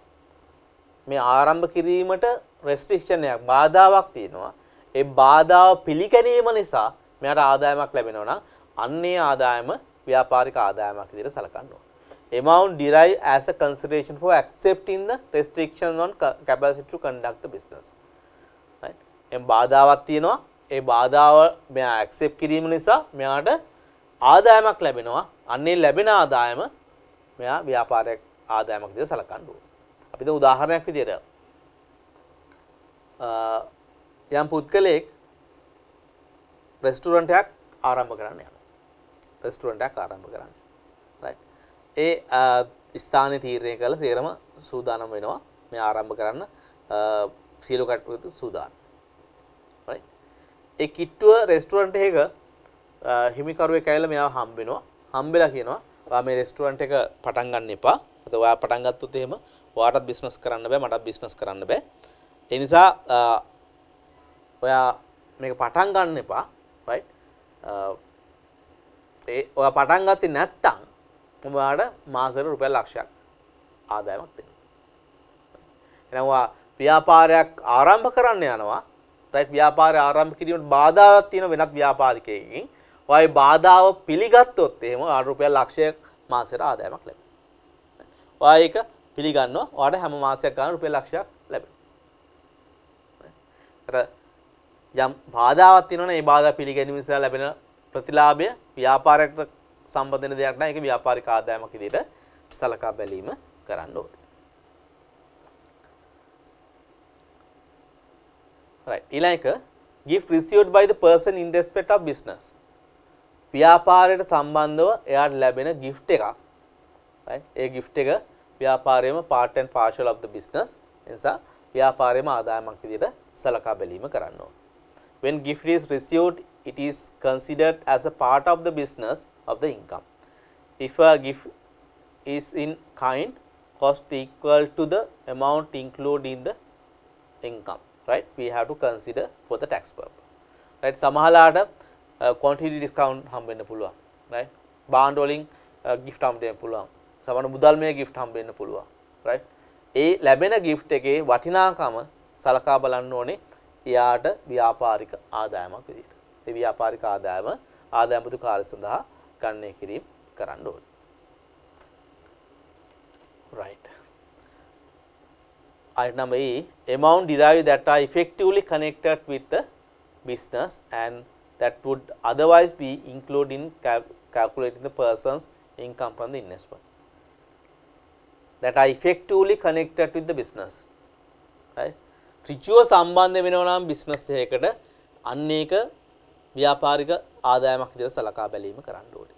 ඍජුව සම්බන්ධ වෙන්නේ නැත්නම් ඒක ආයෝජන ආදායමක් විදිහට කන්සිඩර් කරන්න පුළුවන්. අපි දැන් උදාහරණයක් විදිහට ආයතනයේට බිල්ඩින් දෙකක් අයිතිව තියෙනවා. එක බිල්ඩින් එකක යා ව්‍යාපාර කටයුතු කරනවා. අනිත් බිල්ඩින් එක යා කුලියට දීම සඳහා පාවිච්චි කරනවා. කුලියට දීපු බිල්ඩින් එක පැහැදිලි ඒක යා ආයෝජන වත්කමක් විදිහට තමයි පවත්වාගෙන යන්නේ කුලිය කියලා කියන්නේ කුලිය ආදායම කියලා කියන්නේ ආයෝජන ආදායම. ඒක සම්බන්ධයෙන් ගැටලුවක් නැහැ. ඉවරදී අපිට පැහැදිලිව හඳුනා ගැනීම කරන්න පුළුවන්. ආයෝජන ආදායම ඒකේ ලැබෙන ආදායම ආයෝජන වත්කම සම්බන්ධයෙන් ලැබෙන ආදායම ආයෝජන ආදායමක් විදිහට පැහැදිලිව හඳුනා ගැනීම කරන්න පුළුවන්. හැබැයි අපි අනිත් බිල්ඩින් එකම යා ව්‍යාපාරය සඳහා පාවිච්චි කරන බිල්ඩින් එකේ කොටසක් වේකන්ට් වෙලා තියෙනවා රයිට් කෙටි කාල සීමාවකට මෙයා රෙන්ට් එකට දෙනවා. කොටසක් වේකන්ට් වෙලා තියෙනවා. කෙටි කාල සීමාවකට මෙයා රෙන්ට් එකට දෙනවා. ඒතර රෙන්ට් එකට දීපු එකෙන් ලැබෙන ආදායම මේක ව්‍යාපාරික ආදායමක්ද? එහෙම නැත්නම් මේක ආයෝජන ආදායමක්ද? රයිට් සාමාන්‍යයෙන් මේක ව්‍යාපාරික ආදායමක් නොවුනොත් එහෙම මේක ආයෝජන ආදායමක් තමයි. හැබැයි මෙතන තියෙන කරුණුත් එක්ක මේ බිලියනේ පාවිච්චි කරන ව්‍යාපාර කාල සඳහා රෙන්ට් එකට දීලා තියෙන කෙටි කාල සීමාවකට රයිට් එහෙනම් ඒක අපිට කැටගරයිස් කරන්න පුළුවන්. මේක effectively connected with the business. ඒක ඍජු සම්බන්ධතාවයක් තියෙනවා ව්‍යාපාරයත් එක්ක. එහෙනම් මේක ව්‍යාපාරික ආදායමක් විදිහට වර්ගීකරණය කිරීමේ හැකියාවක් තියෙනවා. අවශ්‍යතාවයක් තියෙනවා. රයිට් දැන් ඒ විදිහට අපිට තීරණය කරන්න පුළුවන් ව්‍යාපාරික ආදායම කියන එක. පැහැදිලි සේවානිත්‍ය ආදායම කියන එක සහ ව්‍යාපාරික ආදායම ආයෝජන ආදායම කියන අතරේ ස්ථීර වෙන් කිරීමක් නැහැ. රයිට් කරුණ අනුව අපිට තීරණය කරන්න වෙන සමහරලාට මේක සේවානිත්‍ය ආදායමක් සමහරලාට මේක ව්‍යාපාරික ආදායමක් සමහරලාට මේක ආයෝජන ආදායමක්. රයිට් ඒ අනුව අපිට තීරණය කරන්න වෙනවා. other amount required to be included under this act මේ කියාපු කාරණාවට අමතරව තවත් මොන හරි දේවල් තියෙනවා නම් මේහා සමානුපාති වෙන දේවල් තියෙනවා නම් ව්‍යාපාරික ආදායම් කියන එකට ඇතුළත් කරන්න පුළුවන්. රයිට්. ඒතර අපි ඔය කතා කරපු කරුණු ටික අනුව තීරණය කරන්න පුළුවන් මොනවද ව්‍යාපාරික ආදායම් කියලා හඳුන ගන්න. නැත්නම් ඉන්ක්ලූෂන් කියලා හඳුන ගන්න. රයිට්. ඒ ඉන්ක්ලූෂන්ස් ටික සලකා බැලීම කරන්න පුළුවන්. මට අනුව ව්‍යාපාරයේ ආදායම් පැත්ත තීරණය කරගන්න පුළුවන්. රයිට්. ඊළඟට අපි යන්න ඕනේ ව්යාපාරේ වියදම් පැත්තට. ව්‍යාපාරේ වියදම් පැත්ත ප්‍රධාන කාරණා තුනකින් නැත්නම් ඩිඩක්ෂන්ස් පැත්ත ප්‍රධාන කාරණා තුනකින් අපිට මේ හඳුනා ගැනීම කරන්න පුළුවන්. right?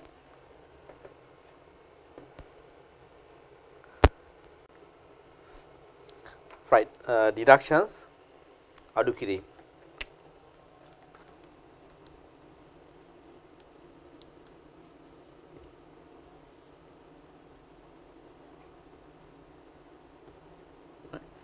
ප්‍රධාන කොටස් තුනක් විදිහට අපිට හඳුනා ගන්න පුළුවන්.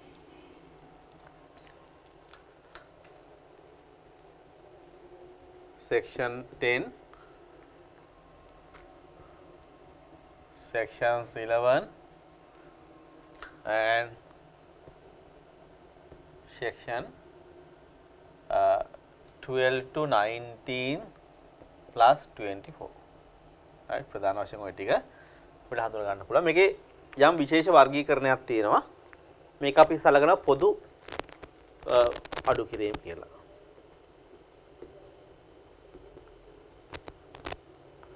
General deductions. දෙවෙනි එක main deductions. ප්‍රධාන අඩු කිරීම. තුන්වෙනි එක විශේෂ අඩු කිරීම.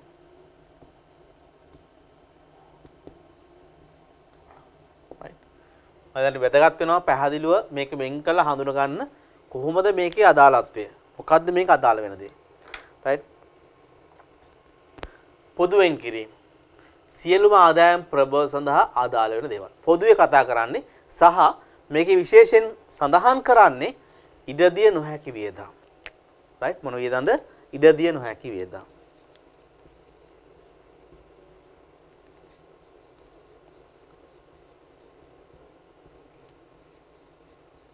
වියදම් සහ අඩු කිරීම. රයිට්? ඉඩදිය නොහැකි දේවල් සම්බන්ධයෙන් තමයි කතා කරන්නේ. ප්‍රධාන අඩු කිරීම සම්බන්ධයෙන් රයිට්? මොනවද ඉඩ දෙන්න පුළුවන් දේවල්? අනිත් දෙකේම ප්‍රධාන අඩු කිරීම සහ විශේෂ අඩු කිරීම කතා කරන්න විශේෂයෙන් මොනවද අඩු කරන්න පුළුවන් දේවල්? රයිට්? උදර මෙතෙන්දි සලකා බලන ප්‍රධාන කාරණා තුනක් රයිට්? ප්‍රධාන කාරණා තුනක් සලකා බලනවා.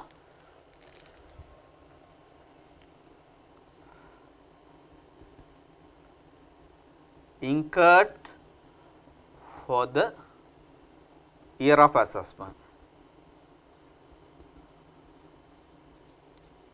Incurred for the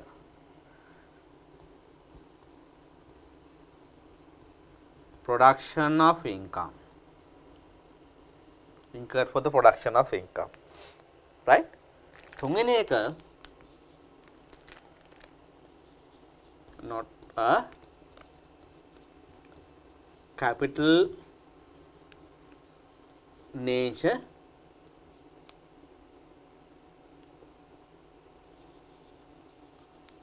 deductions. Right පළවෙනි කාරණය මේක තක්සේරු වර්ෂය තුල ඇතිවෙච්ච ආදායමක් වියදමක් වෙන්න ඕනේ. අඩු කිරීමක් වෙන්න දෙවෙනි එක තක්සේරු මේක ආදායම් උත්පාදනය සඳහා අදාළ වෙන ඇතිවෙච්ච අඩු කිරීමක් වෙන්න ඕනේ. තුන්වෙනි එක මේක කැපිටල් නේජ් එක්ස්පෙන්ස් එකක් නොවෙන්න ඕනේ. ඔය කාරණා තුන වැදගත් වෙනවා. විශේෂයෙන් මේක අදාළ වෙනවා. right? ව්‍යාපාරික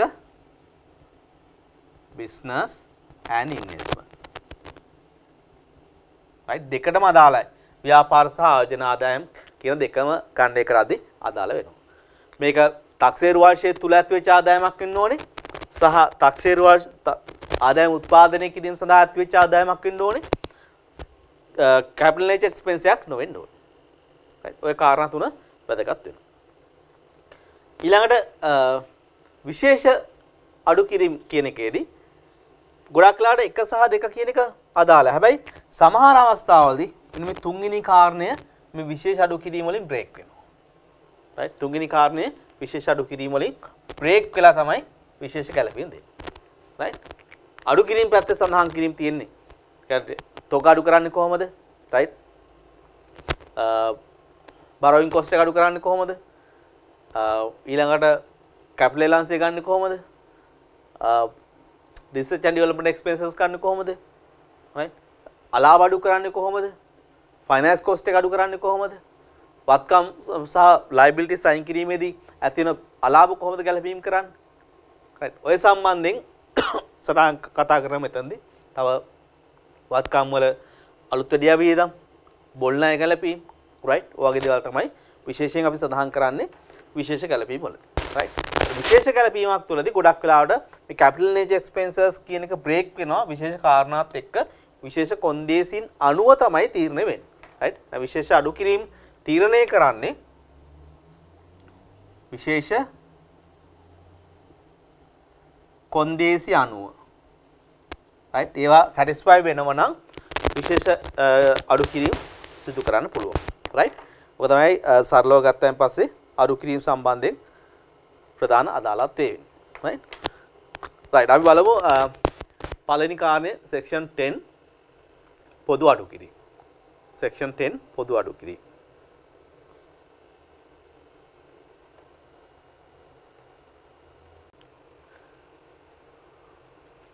Right uh, අපි එකිනෙක බලාගෙන යන් uh, වකාන්තියක 10 පොදු අඩු කිරීම සම්බන්ධයෙන් ජෙනරල් අඩු කිරීම සම්බන්ධයෙන් අදාළ දේ. මම ඉස්සෙල්ලා කිව්වා වගේම ජෙනරල් ඩිඩක්ෂන් පොදු අඩු කිරීම කියන එක හැම ආදායම් ප්‍රභවයකටම අදාළ වෙන සලකා බැලීම. right? අපි එකිනෙක ඉස්සරහ කතා කරන ඉස්සරහට යන් පළවෙනි එක no deduction shall be made in calculating the person's income from employment. No deduction shall be made in calculating person's income from employment right? Uh, employment income එකෙන් කිසිම අඩු කිරීමක් කරන්න බෑ. දැන් මම ඉස්සෙල්ලා කිව්වා වගේම සමහරට uh, සේවකයා ආයතනයට සම්බන්ධයෙන් වේදන් දරනවා. ආයතන සල්ලි හම්බෙන්නෙත් නැහැ right? සමහරට එයාගේ සේවා ස්ථානය ලස්සන කරන්න වෙන්න පුළුවන් සේවය හොඳට ලබා දෙන්න වෙන්න පුළුවන් right? ඒ වගේ දේවල් සම්බන්ධයෙන් වේදන් දරනවා right?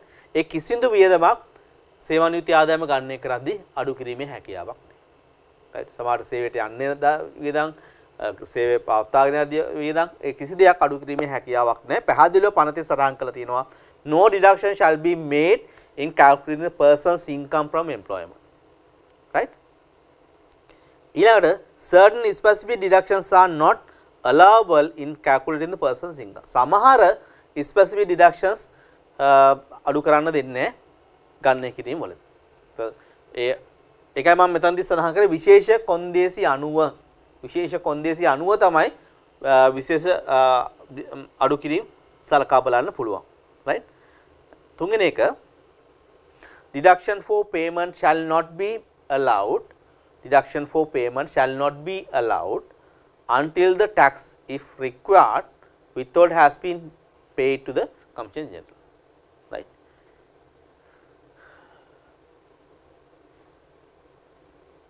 ගෙවීම අනුව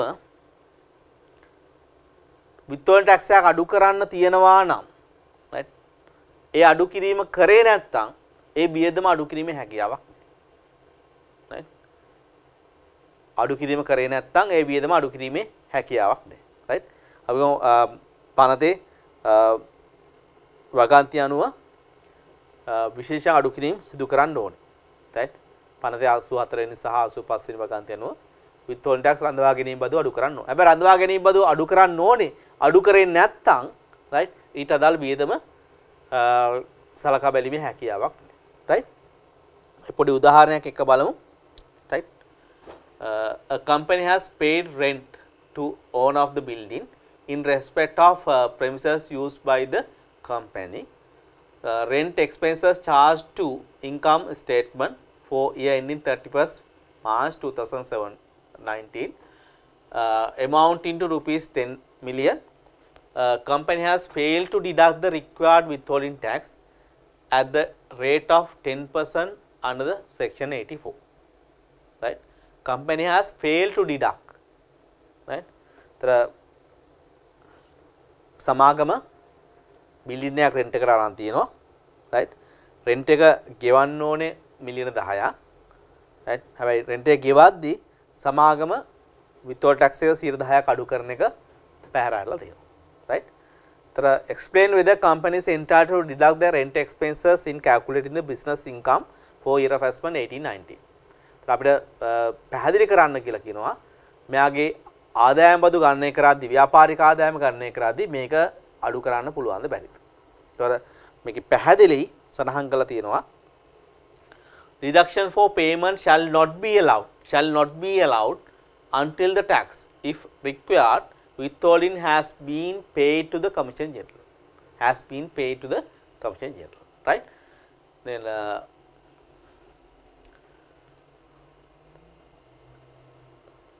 තර එක්සාම්පල එක විදිහට රෙන්ට් එක්ස්පෙන්ස් එකක් මෙයා ගෙවලා තියෙනවා රයිට් account සදද්දී මිලියන 10ක් අඩු කරලා තියෙනවා හැබැයි 10%ක අඩු කිරීම කරන්න නැතුව තමයි ගෙවීම කරලා තියෙන්නේ එහෙනම් 10%ක් අඩු කරේ නැහැ කියලා කියන්නේ සම්පූර්ණ වියදම අඩු කිරීමේ හැකියාවක් නැහැ සම්පූර්ණ වියදම අඩු කිරීමේ හැකියාවක් නැහැ රයිට් සා ඒ කරුණ වැදගත් වෙනවා. මොකද ඒ දේ MCQ questions වලට විශේෂයෙන් සලකා බලන්න පුළුවන්.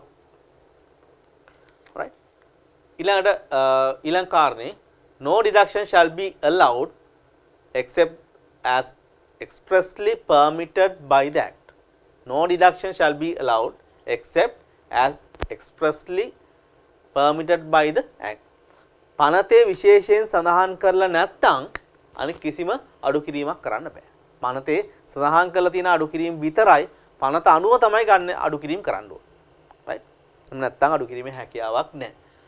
right where more than one deductions apply the most specific deduction shall be applied even if that result in the deny uh, of the deductions right? Uh, එක කරුණක් සම්බන්ධයෙන් එක කරුණක් සම්බන්ධයෙන් අඩු කිරීම එකකට වඩා වැඩි ගණනක් uh, අදාළ වෙන අවස්ථාවේදී වඩාත් සුදුසුම වඩාත් අදාළ වෙන අඩු කිරීම සලකා බැලීම කරන්න ඕනේ. වදා සලකා බැලීම කරන්න ඕනේ රයිට් uh, ඒ සලකා බැලීම කරනකොට සමාට අනිත් එකින් වැඩි ප්‍රතිලාභයක් එන්න පුළුවන්. හැබැයි වඩාත් අදාළ වෙන අඩු කිරීම යොදා ගැනීම කරන්න ඕනේ රයිට් මේ කරුණු ටික තමයි ප්‍රධාන වශයෙන් සලකා බලන්න ඕනේ ප්‍රධාන කරුණු හතරක් තියෙනවා මොකද කරුණු හතර එම්ප්ලොයිමන්ට් ඉන්කම්ෙන් කිසි දෙයක් අඩු කරන්න බෑ හැබැයි ස්පෙસિෆික් ඩිඩක්ෂන්ස් අදාළ වෙන ආකාරයට අනිකුත් ආදායම් පොවට ඉදා ගන්න පුළුවන්. විත්වෝල් ටැක්ස් එක අඩු කරන්න තියෙනවා නම් අඩු කළා නැත්නම් සම්පූර්ණ වියදම අඩු කරන්න බෑ. රයිට්? විශේෂයෙන් පළවෙනි සඳහන් කරලා තිබෙන්නේ නැත්නම් වියදම් අඩු කිරීමේ හැකියාවක් නැහැ. රයිට්? එකපාරට වඩා වැඩි ප්‍රොවිෂන්ස් අඩු කර යොදාගෙන අඩු කිරීම කරන්න තියෙන අවස්ථාවකදී වඩාත්ම යෝග්‍ය සුදුසු සහ අදාළ වන වගන්ති අනුව අඩු කිරීම කරන්න ඕනේ. රයිට්? ඊට පස්සේ පනතේ 10 වෙනි වගන්තියේ සටහන් වෙනවා විශේෂයෙන් මෙන්න මේ දේවල් අඩු කරන්න බෑ කියලා. Following expenses shall not be deducted in computing the person's income person's income uh, shall not be deducted shall not be deducted right uh, වියදම් විදිහට අඩු කරන්න බෑ මෙන්න මේ දේවල්. පළවෙනි එක තමයි domestic expenses. ගෘහස්ත වියදම්. ගෘහස්ත වියදම් අඩු කිරීමේ හැකියාවක් නෑ uh, භගන්ති අංක 10 අනුව. right? එතකොට section 197 එක අනුව domestic expenses කියන එක නිර්වචනය කරනවා. මේ නිර්වචනය හඳුනා ගැනීම ඉතාමත් වැදගත්. මොකද ඒ කරුණු අනුව තමයි අපිට තීරණය කරන්න වෙන්නේ මේක ගෘහස්ත වියදමක්ද නැද්ද කියන එක. රයිට් අපි පොඩි පැහැදිලි කර ගැනීමක් කරගමු කොහොමද මේක තේරුම් ගන්න කියලා පනතේ එකසිය අනු හත්තිනි වගන්තය තියෙන නිර්වාචනය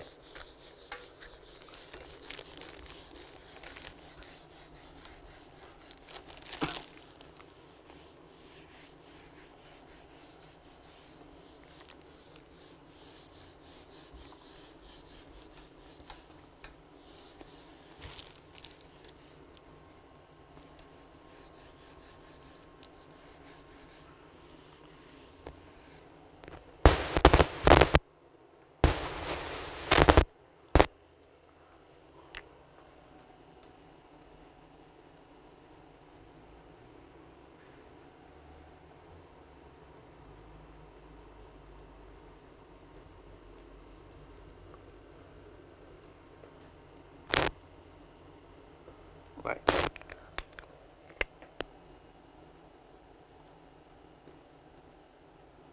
ගෘහස්ත වියදම්. ප්‍රධාන වශයෙන් කොටස් තුනක් යටතේ අපිට හඳුනා ගන්න පුළුවන්. Right? කොටස් තුනක් යටතේ අපිට හඳුනා ගන්න පුළුවන්. පළවෙනි එක where the individual incur the expenses in respect of himself.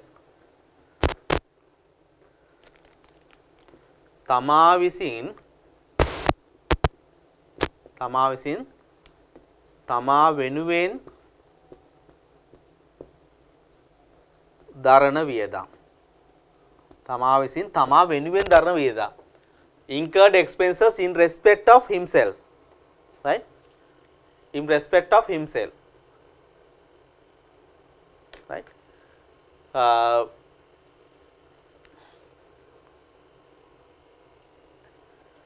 uh, තමා uh, විසින් තමා වෙන උදාහරණයක් විදිහට අපි හිතමු uh, තනි පුද්ගල ව්‍යාපාරිකයෙක් එයා වෙනුවෙන්ම දරන වියදම් ටික ව්‍යාපාරයෙන් අඩු කරනවා. Right? ඒ වගේ අවස්ථාවක අපිට සලකා බලන්න පුළුවන්. ඊළඟ කියනවා uh, where any other person incur the expenses in respect of the other person right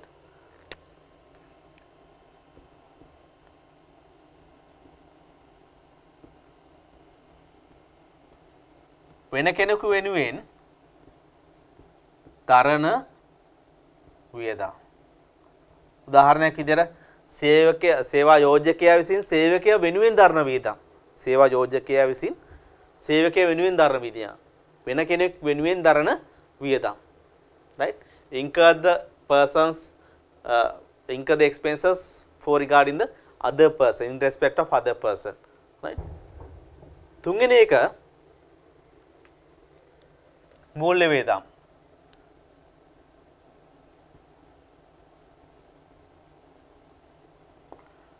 මූල්‍ය වේදම් රයිට් අපි මේක A සහ B කියලා ගත්තොත් රයිට් A සහ B වෙනුවෙන්. A සහ B වෙනුවෙන් දරන මූල්‍ය වේදම් A සහ B වෙනුවෙන් දරන මූල්‍ය වේදම් තමා විසින් තමා වෙනුවෙන් දරන වීදම් වලට ණයක් අරගෙන තමයි එක් කරන්නේ. එහෙනම් මූල්‍ය වේදමක් ඇති වෙනවා. ඒකත් අපි සලකන්න වෙනවා. ගෘහස්ත වේදමක් විදියට. සමහර තමා විසින් කරනවා වෙන කෙනෙක්ට දරන වේදමක්. ඒකටත් අපි ලෝන් එකක් කරන් තියනවා කියලා ඒකත් සලකන්න ඕනේ. right? ඔය දේවල් තුන තමයි ප්‍රධාන වශයෙන් අපි හඳුනගන්නේ ගෘහස්ත වේදම් කියලා. ගෘහස්ත වේදම් කියලා. right? හරි අපි එකිනෙක බලමු මොනවද මේකට අදාළ වෙන දේවල්. uh, where the individual incurred expenditure in respect of himself, the expenditure shall be the domestic expenses to extent that it is incurred. තනි පුද්ගලයෙක් තමා විසින්ම තමා වෙනුවෙන් වියදම් දරලා තියෙනවා නම් ඒ වියදම් ටික domestic expenses විදිහට සලකන්න කියලා කියනවා. right? පහත කාරණාවට යටත්ව. in maintain the individual include providing the shelter as well as meal, refreshment, entertainment or other leisure activities. තමා වෙනුවෙන්ම දරනවා තමන්ට වාසස්ථානයට අදාළ වියදම් අ, අ, ආහාර පාන සම්බන්ධයෙන් වියදම් අ, විනෝදාශාදය සඳහා වියදම් leisure activities නිදහස් අ, අ, සඳහා දරන වියදම්. ඒ වියදම් එයා වියදම් දරලා ව්‍යාපාරයෙන් අඩු කරගන්න. ඒක තමා විසින්ම දරන වියදමක්. ඒතර ගොඩක් වෙලාවට කම්- අ, තනි පුද්ගල ආයතනයක අ, අයිතිකරුවෙක් කම්පැනි එක ඩිරෙක්ටර් කෙනෙක් right තමන්ට අයිති ව්‍යාපාරයේ දරන වියදම් ටික තමාගේ වියදම් ව්‍යාපාර වියදම් විදිහට සලකලා තියෙනවා නම් අන්නේ වියදම් දුවස්ත වියදම් විදිහට සලකන්න ඕනේ. දුවස්ත වියදමක් වෙනවා නම් ව්‍යාපාරයෙන් අඩු කිරීමේ හැකියාවක් නැහැ. right දෙවෙනි එක in the uh, individual commuting from home traveling from home right තර ඉන්ඩිවිජුවල් කෙනෙක් තමන්ගේ නිවසේ ඉඳන් ව්‍යාපාර ස්ථානට එන්න නැත්නම් ඊට අදාළව දරන පෞද්ගලික වියදම් ව්යාපාරයෙන් අඩු කරනවා. ඒක අඩු කරන්න බෑ කියලා සටහන් කරනවා. හැබැයි තව දෙයක් අපි මේකත් එක්ක අවධානය යොමු කරන්න ඕනේ. රාජපක්ෂ versus CIR කේස් එකේ තීරණය. මොකද ඒක වැදගත් වෙනවා මේ මේ කරුණ තීරණය කරද්දී. right අපි පොඩ්ඩක් ඒක මතක් කරමු නැත්නම් අව- අවබෝධයක් ගමු. ඒ තීරණය කොහොමද එන්නේ කියලා. රාජපක්ෂ කියලා කියන්නේ ලෝය කෙනෙක්. ලෝය තමන්ගේ නීතිඥ අ, අ, වෘත්තිය සම්බන්ධයෙන් ගණනය කිරීම කරද්දී ව්‍යාපාරික ආදායම තීරණය කරද්දී ගෙදර ඉඳන් උසාවිය යන්න ගෙදර ඉඳන් ක්ලයන්ට් හම් වෙන්න ගන්න දරපු වියදම් ගමන් වියදම් ටික අඩු කළා තියෙනවා. right? හැබැයි දේශීය දෙපාර්තමේන්තුව ඒ අ, ගමන් වියදම් සැලකුවා අ, ගෘහස්ත නැත්නම් අ, පෞද්ගලික වියදම් විදියට සලකලා ඒ දේවල් ටික අයින් කරලා එයාට අතිරේක තක්සේරුවක් තිබුත් කරා බ- අ, අමතර බද්දක් අය කරගන්න.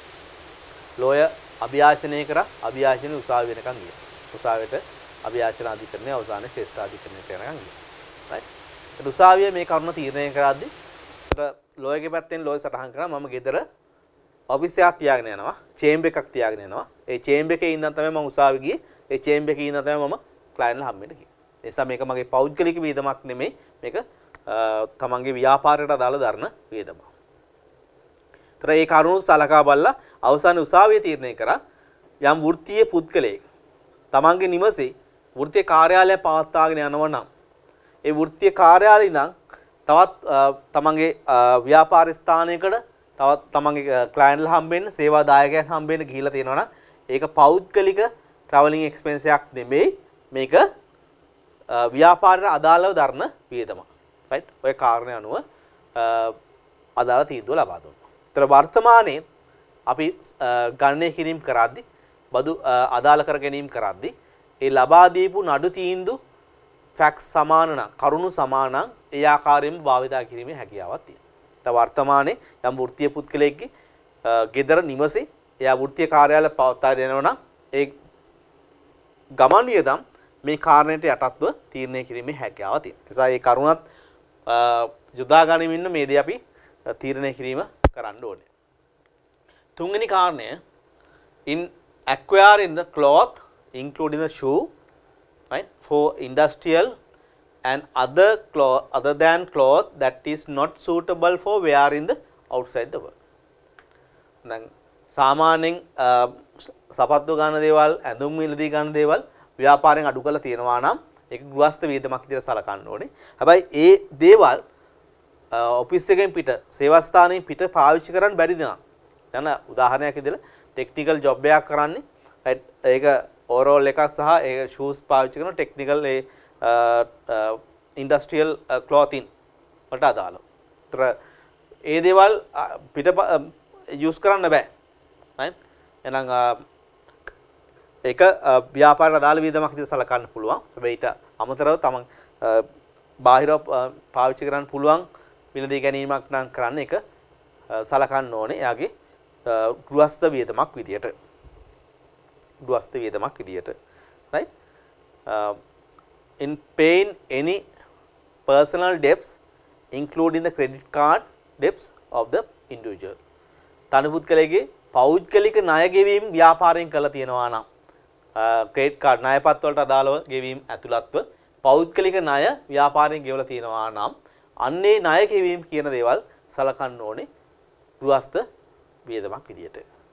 right uh, ඊළඟට in uh, educating the individual other than education that is directly relevant to a business conducted by the individual and does not lead to degree or diploma. Right ව්‍යාපාරය සඳහා ව්‍යාපාරයේ ස්වභාවය අනුව ව්‍යාපාරය සඳහා ඍජුව අදාළ වන ඍජුව අදාළ වන එඩියුකේෂන් ට්‍රේනින් එකක් වියදම් අඩු කිරීමේ හැකියාව තියෙනවා. හරි. හැබැයි මේක ඍජුව අදාළ වුණත් මේක යොමු වෙනවා නම් නැත්නම් මේක ફોකස් වෙනවා නම් ඩිග්‍රී එකකට හරි ඩිප්ලෝමා එකකට හරි ඒ අදාළ වියදම අඩු කිරීමේ හැකියාව නැහැ. right? ඔය කාරණා ටික අනුව අපිට පුළුවන් තමා විසින්ම තමා වෙනුවෙන් දරන වියදම් ගෘහස්ත වියදමක්ද නැද්ද කියන එක තීරණය කරගන්න. right ඔය කාරණා ටික හඳුනා ගැනීම ඉතා වැදගත් ගොඩක් වෙලාට එක්සෑම් එක ફોකස් කරන ඒරියා එකක් වෙන්න පුළුවන්. මොකද කරුණු කීපයක් දීලා මේක ගෘහස්ත වියදමක්ද නැද්ද නැත්තම් තීරණය කරන්න කියලා අපිට MCQ question එකක් ලේසියෙන් නිර්මාණය කරන්න පුළුවන්. right නිසා ඒ කරුණු ටික හඳුනා ගැනීම ඉතාමත් වැදගත් සහ කන්ඩිෂන් 1 රයිට් වැදගත් වෙන අදාළ වෙන කන්ඩිෂන් එක. රයිට් අපි ඊළඟට බලමු දෙවෙනි කරුණ. වෙන කෙනෙක් වෙනුවෙන් දරන වියදම්. අපි එක්සැම්පල් එකක් විදිහට ගත්තා සේවා යෝජකයා විසින් සේවකයා වෙනුවෙන් දරන වියදම්. රයිට් සේවා යෝජකයා විසින් සේවකයා වෙනුවෙන් දරන වියදම්. අපි එහෙම නැත්තම් කියන්න පුළුවන් ආයතන ව්‍යාපාරික ස්ථාන විසින් පාරිභෝගිකයා වෙනුවෙන් දරන වියදම්. රයිට් සල්ව ගන්න පුළුවන්. Where any other person incur the expenditure in making the uh, payment to or providing any other benefit for individual expenses shall be domestic expenses except the extent that සාමාන්‍යයෙන් වෙන කෙනෙක් වෙනුවෙන් දරන වියදම වෙන කෙනෙක් ඉන්ඩිවිජුවල් පර්සන් කෙනෙක් වෙනුවෙන් දරන වියදම සලකන්න ඕනේ ගෘහස්ත වියදමක් විදියට. හැබැයි පහත කාරණාවලට අනුව ඒක තීරණය කිරීම කරන්න ඕනේ. right? බලන්න එක persons or benefit shall be included in calculating the income from the individual. මෙයා අනිත් කෙනෙක් කෙනෙකුෙන් දරනවා හැබැයි එයාගේ ආදායම ගණනය කරද්දී ඒක සලකා බලලා තියෙනවා. ඒතර හොඳම උදාහරණය තමයි ආයතනය ප්‍රතිලාභයක් දෙනවා වියදමක් දරනවා. right? අපි තමු මෙයාට වාහනයක් දෙන්න වියදමක් දරනවා. හැබැයි සේවකයා පැත්තෙන් සේවකයා පේ ටැක්ස් අඩු කරද්දී මේ වාහන ප්‍රතිලාභය සලකා බලලා දෙනවා. Right? ඒතර බෙනිෆිට් එකක් ලැබෙනවා. ඒ බෙනිෆිට් එක අනිත් කෙනාගේ පැත්තෙන් ප්‍රතිලාභයක් විදිහට සලකා බලලා දෙනවා. එහෙනම් ගැටලුවක් නැහැ. ඒ වියදම අඩු කිරීමේ හැකියාවක් තියෙනවා. ඒක ගෘහස්ත වියදමක් බවට පත් වෙන්නේ. right? හැබැයි අපි පේ ටැක්ස් එකේදී සලකා බලන්න පුළුවන් එක වාහනයක ප්‍රතිලාභය විතරයි කියලා කියනවා. එතන වාහන එක වාහනයට වඩා වැඩියෙන් දීලා තියෙනවා නම් මොකද වෙන්නේ? අන්න එතනදී ගෘහස්ත වියදමක් බවට පත් වෙනවා. right? එක වාහනයට වඩා වැඩියෙන් ඇලොකේට් කරලා තියෙනවා නම් ඒක ගෘහස්ත වියදමක් විදිහට සලකා බැලීම කරන්න වෙනවා. right? right. දෙවෙනි එක individual provide consideration of equal market value of the payment or benefit. Right? ආයතනයෙන් ප්‍රතිලාභයක් ලැබෙනවා. නැත්නම් යම්කිසි පුද්ගලයෙකුගේ ප්‍රතිලාභයක් ලැබෙනවා. ඒ ප්‍රතිලාභය වෙනුවෙන් වෙන්දපොළ වටිනාකම නැවත ගෙවීමක් කරනවා. ප්‍රතිලාභය වෙනුවෙන් වෙන්දපොළ වටිනාකම නැවත ගෙවීමක් කරනවා right? ඒ වගේ අවස්ථාවක ඒ වියදම සලකා බලන්න පුළුවන් සාමාන්‍ය ව්‍යාපාරික වියදමක් විදිහට. right? මතක නම් සේවා නීති ආදායමේදී අපි කිව්වා වාහනයක් කැලකුලේට් කරනවා රෙකෝඩ්ස් තියා ගන්නවා පෞද්ගලික ගමන් සම්බන්ධයෙන් අය කිරීමක් කරනවා. අපි දම අය කිරීම රුපියල් 30ක් කියලා කිලෝමීටරයකට අය කිරීමක් කරනවා වෙළඳපොළ වටිනාකමට. ඒ අගය ඩිපාර්ට්මන්ට් එකෙන් දීලා තියෙන අගයටත් වඩා වැඩි එහෙනම් ප්‍රතිලාභයක් නැහැ. right? ඊට අදාළ වියදම් ටික ඒ වාහන සම්බන්ධයෙන් වියදම් ටික ව්‍යාපාරයෙන් අඩු කිරීමේ හැකියාව තියෙන. මොකද ඒ ප්‍රතිලාභය ලබන කෙනාගෙන් අය කිරීමක් කරනවා. ප්‍රතිලාභය ලබන කෙනාගෙන් අය කිරීමක් කරනවා. right. තුන්වෙනි එක amount of expenditure is so small or to make it unreasonable or administrative impracticable to account for it. right. එන අදාළ වියදමේ වටිනාකම කුඩා අගයක් right ඒක වෙන් කිරීම කියන එක අන්රීසනබල් ප්‍රායෝගිකව නැහැ රයිට් සමහරට ඒ කරුණු අනුව මේක වියදම ගෘහස්ත වියදමක් කියන එක නොසලකා හරින්න කියලා සටහන් කරනවා. හැබැයි මේක පොඩ්ඩක් ප්‍රායෝගික භාවිතයේ ටිකක් ටිකක් සංකීර්ණ කාර්යයක් වෙන්න පුළුවන්. ආගියුමන්ට් ඇති වෙන දෙයක් වෙන්න පුළුවන්. ඒක ස්මෝල් නැත්නම් ලාර්ජ් කියන කරුණු තීරණය කරන්න වෙන්නේ කම්පැරබල්. සමහරට බිලියන් ටර්නෝවර් ලැබෙන තියෙන කම්පැනි එකට 10 මිලියන් කියලා කියන්නේ ස්මෝල් වැලියු. right? හැබැයි 10 මිලියන් 100 මිලියන් දෙන කම්පැනි 10 මිලියන් කියන්නේ 10% of their revenue. ඒතර ඒ අනුව කම්පැරබල් විදිහට තමයි ස්මෝල් ද ලාර්ජ් ද කියන එක තීරණය කරන්න වෙන්නේ. අන්රීසනබල්ද ඉන්ප්‍රක්ටිකබල්ද කියන එකත් ඒ සිටුවේෂනලි පැක්ස් අනුව තීරණය කරන්න ඕන දෙයක්. ඒක ටිකක් ග්‍රේ ඒරියා එකක් නමුත් පනති සටහන් කරලා තියෙනවා. Uh, amount of expenditure is small uh, as uh, to make it uh, unreasonable or uh, administratively impracticable to accounts. Right? Uh, කුඩා අගයක් නම් uh, ප්‍රැක්ටිකලි එක වෙන් කරන්න බැරි අගයක් නම් එහෙම කරන එක uh, අන්රීසනබල් නම් ඒ වගේ දෙයක් සලකන්න පුළුවන් ඩොමස්ටික් එක්ස්පෙන්ස් එකක් නෙමෙයි කියලා. ওই කාරණා අනුව පළවෙනි සහ දෙවෙනි එක අපිට තීරණය කරන්න පුළුවන්. තමා විසින්ම තමා වෙනුවෙන් දරන වියදම් වෙන කෙනෙක් වෙනුවෙන් දරන වියදම්. තුන්වෙනි කාරණය තමයි expenditure in refers to subsection 1 and 2 include interest incurred with respect of with respect to the money borrowed. That is used in manner referred to the those subsection. Right? Uh, අපි හිතමු මෙයා ඩිග්‍රියක් කරන්න යනවා. Right ඉන්ඩිවිජුවල් බිස්නස් එකක් කරන කෙනෙක් degree එක කරන්න ලෝන් එකක් ගන්නවා ලෝන් එක ගෙවන්නේ ආයතන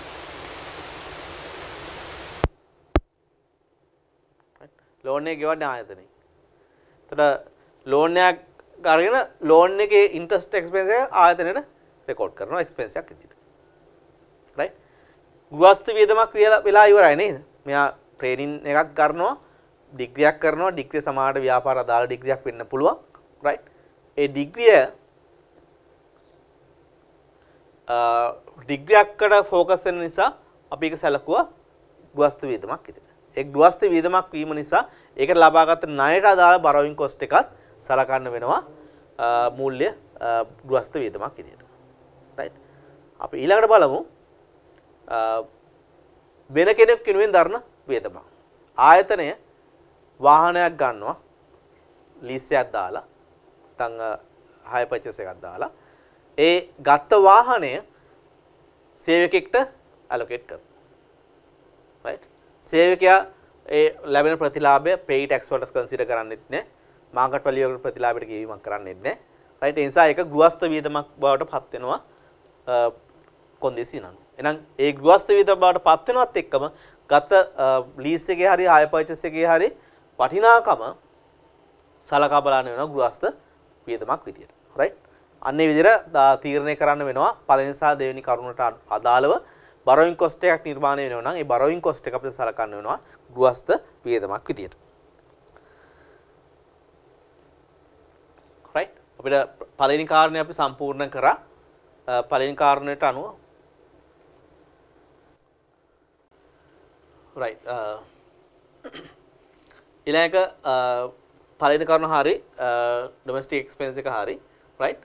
uh, tax payable under this act or other taxes and levy specified by the Commissioner General of Inland Revenue right? Cash notification එකක් අනුව මේ income tax හරි ස්පෙસિෆික් කරපු tax ටික හරි අඩු කිරීමේ හැකියාවක් නැහැ ඒක අපි සලකන්න ඉඩ දෙන නොදෙන වියදමක් විදිහට සලකන්න ඕන.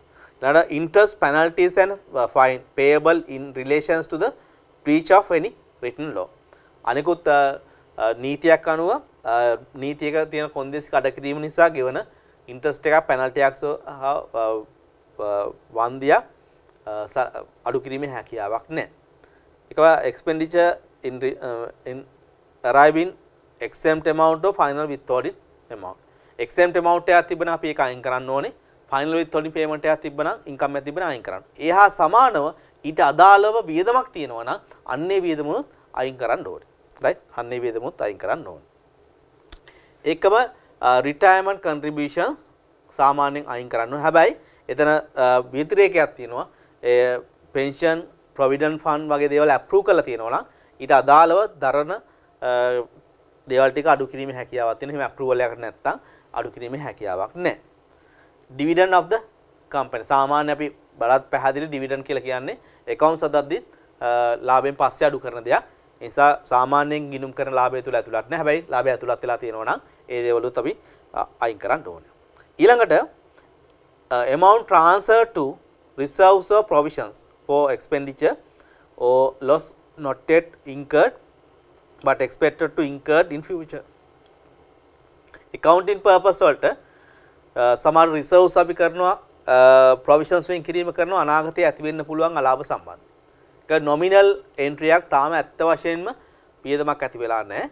ඒ uh, වියදම් ආදායමදු කාර්ය සඳහා සත්‍ය වියදමක් නොවේ නම් අඩු කිරීමේ හැකියාවක් නැහැ. විශේෂයෙන් ඉඩ දීලා නැත්තම්. right? මොකද uh, පනත 24 වෙනි වගන්තිය අනුව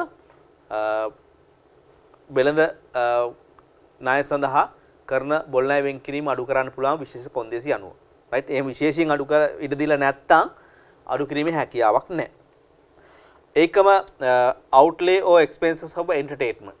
right? entertainment එකක් වෙනවා නම් ඒ entertainment expense එක අඩු කරන්න හැකියාවක් නැහැ. entertainment කියන එක නිර්වචනයක් දෙනවා. entertainment mean provisions to any person any person of food, beverage, tobacco or accommodations or enjoyment, recreations or hospitality of any kind, right, for any person, right. Sometimes it may be for employee, sometimes for customer, so any other person, right. Entertainment expenses අඩු කිරීමේ හැකියාවක් නැහැ නිර්වචනය අනුව. right. ඒකම amount incurred on lottery, betting and gambling other than amount incurred for conducting the business of lottery or betting and gambling right සාමාන්‍යයෙන් lottery එකට betting and gambling වලට අදාළව වේදන් අඩු කිරීමේ හැකියාවක් නැහැ. හැබැයි යා බිස්නස් එකක් කරන විදිහට කන්ඩක්ට් කරනවා නම් බිස්නස් එකේ අඩු කිරීමේ හැකියාවක් තියෙනවා. Right? ඔය විදිහට අපි ওই කාරණා ටික අනුව අපේ පළවෙනි ප්‍රධාන කාරණය නැත්නම් පොදුවෙන් කිරීම කියන එක තීරණය කරන්න ඕනේ. Right? ඔක ඒ කරුණ වලින් හැම වෙලාවෙම කියන්නේ ඉඩදිය නොහැකි වේදන් සම්බන්ධ right? ඉඩදිය නොහැකි වේදන් සම්බන්ධයෙන්. ඒ අනුව අපි පළවෙනි කොටස අපේ ඩිඩක්ෂන්ස් පැත්තේ අවසන් කරනවා. පොදුවෙන් කිරීම සම්බන්ධයෙන්. Right? මම හිතන්නේ ඉතාමත් පැහැදිලියි අපි කතා කරපු දේවල්. අපි ඊළඟ සෙෂන් එක සම්බන්ධ වෙනවා මේන් ඩිඩක්ෂන්ස් සහ ස්පෙસિෆික් ඩිඩක්ෂන්ස් එක්ක. අපි ඉස්සරහදී ඒ දේවල් සම්පූර්ණ කළ ව්‍යාපාරික ආදායම් සම්පූර්ණ කරන්න පුළුවන්. Right. ඒක අපි මේ සෙෂන් එක අවසන් කරමු. බොහොම ස්තුතියි.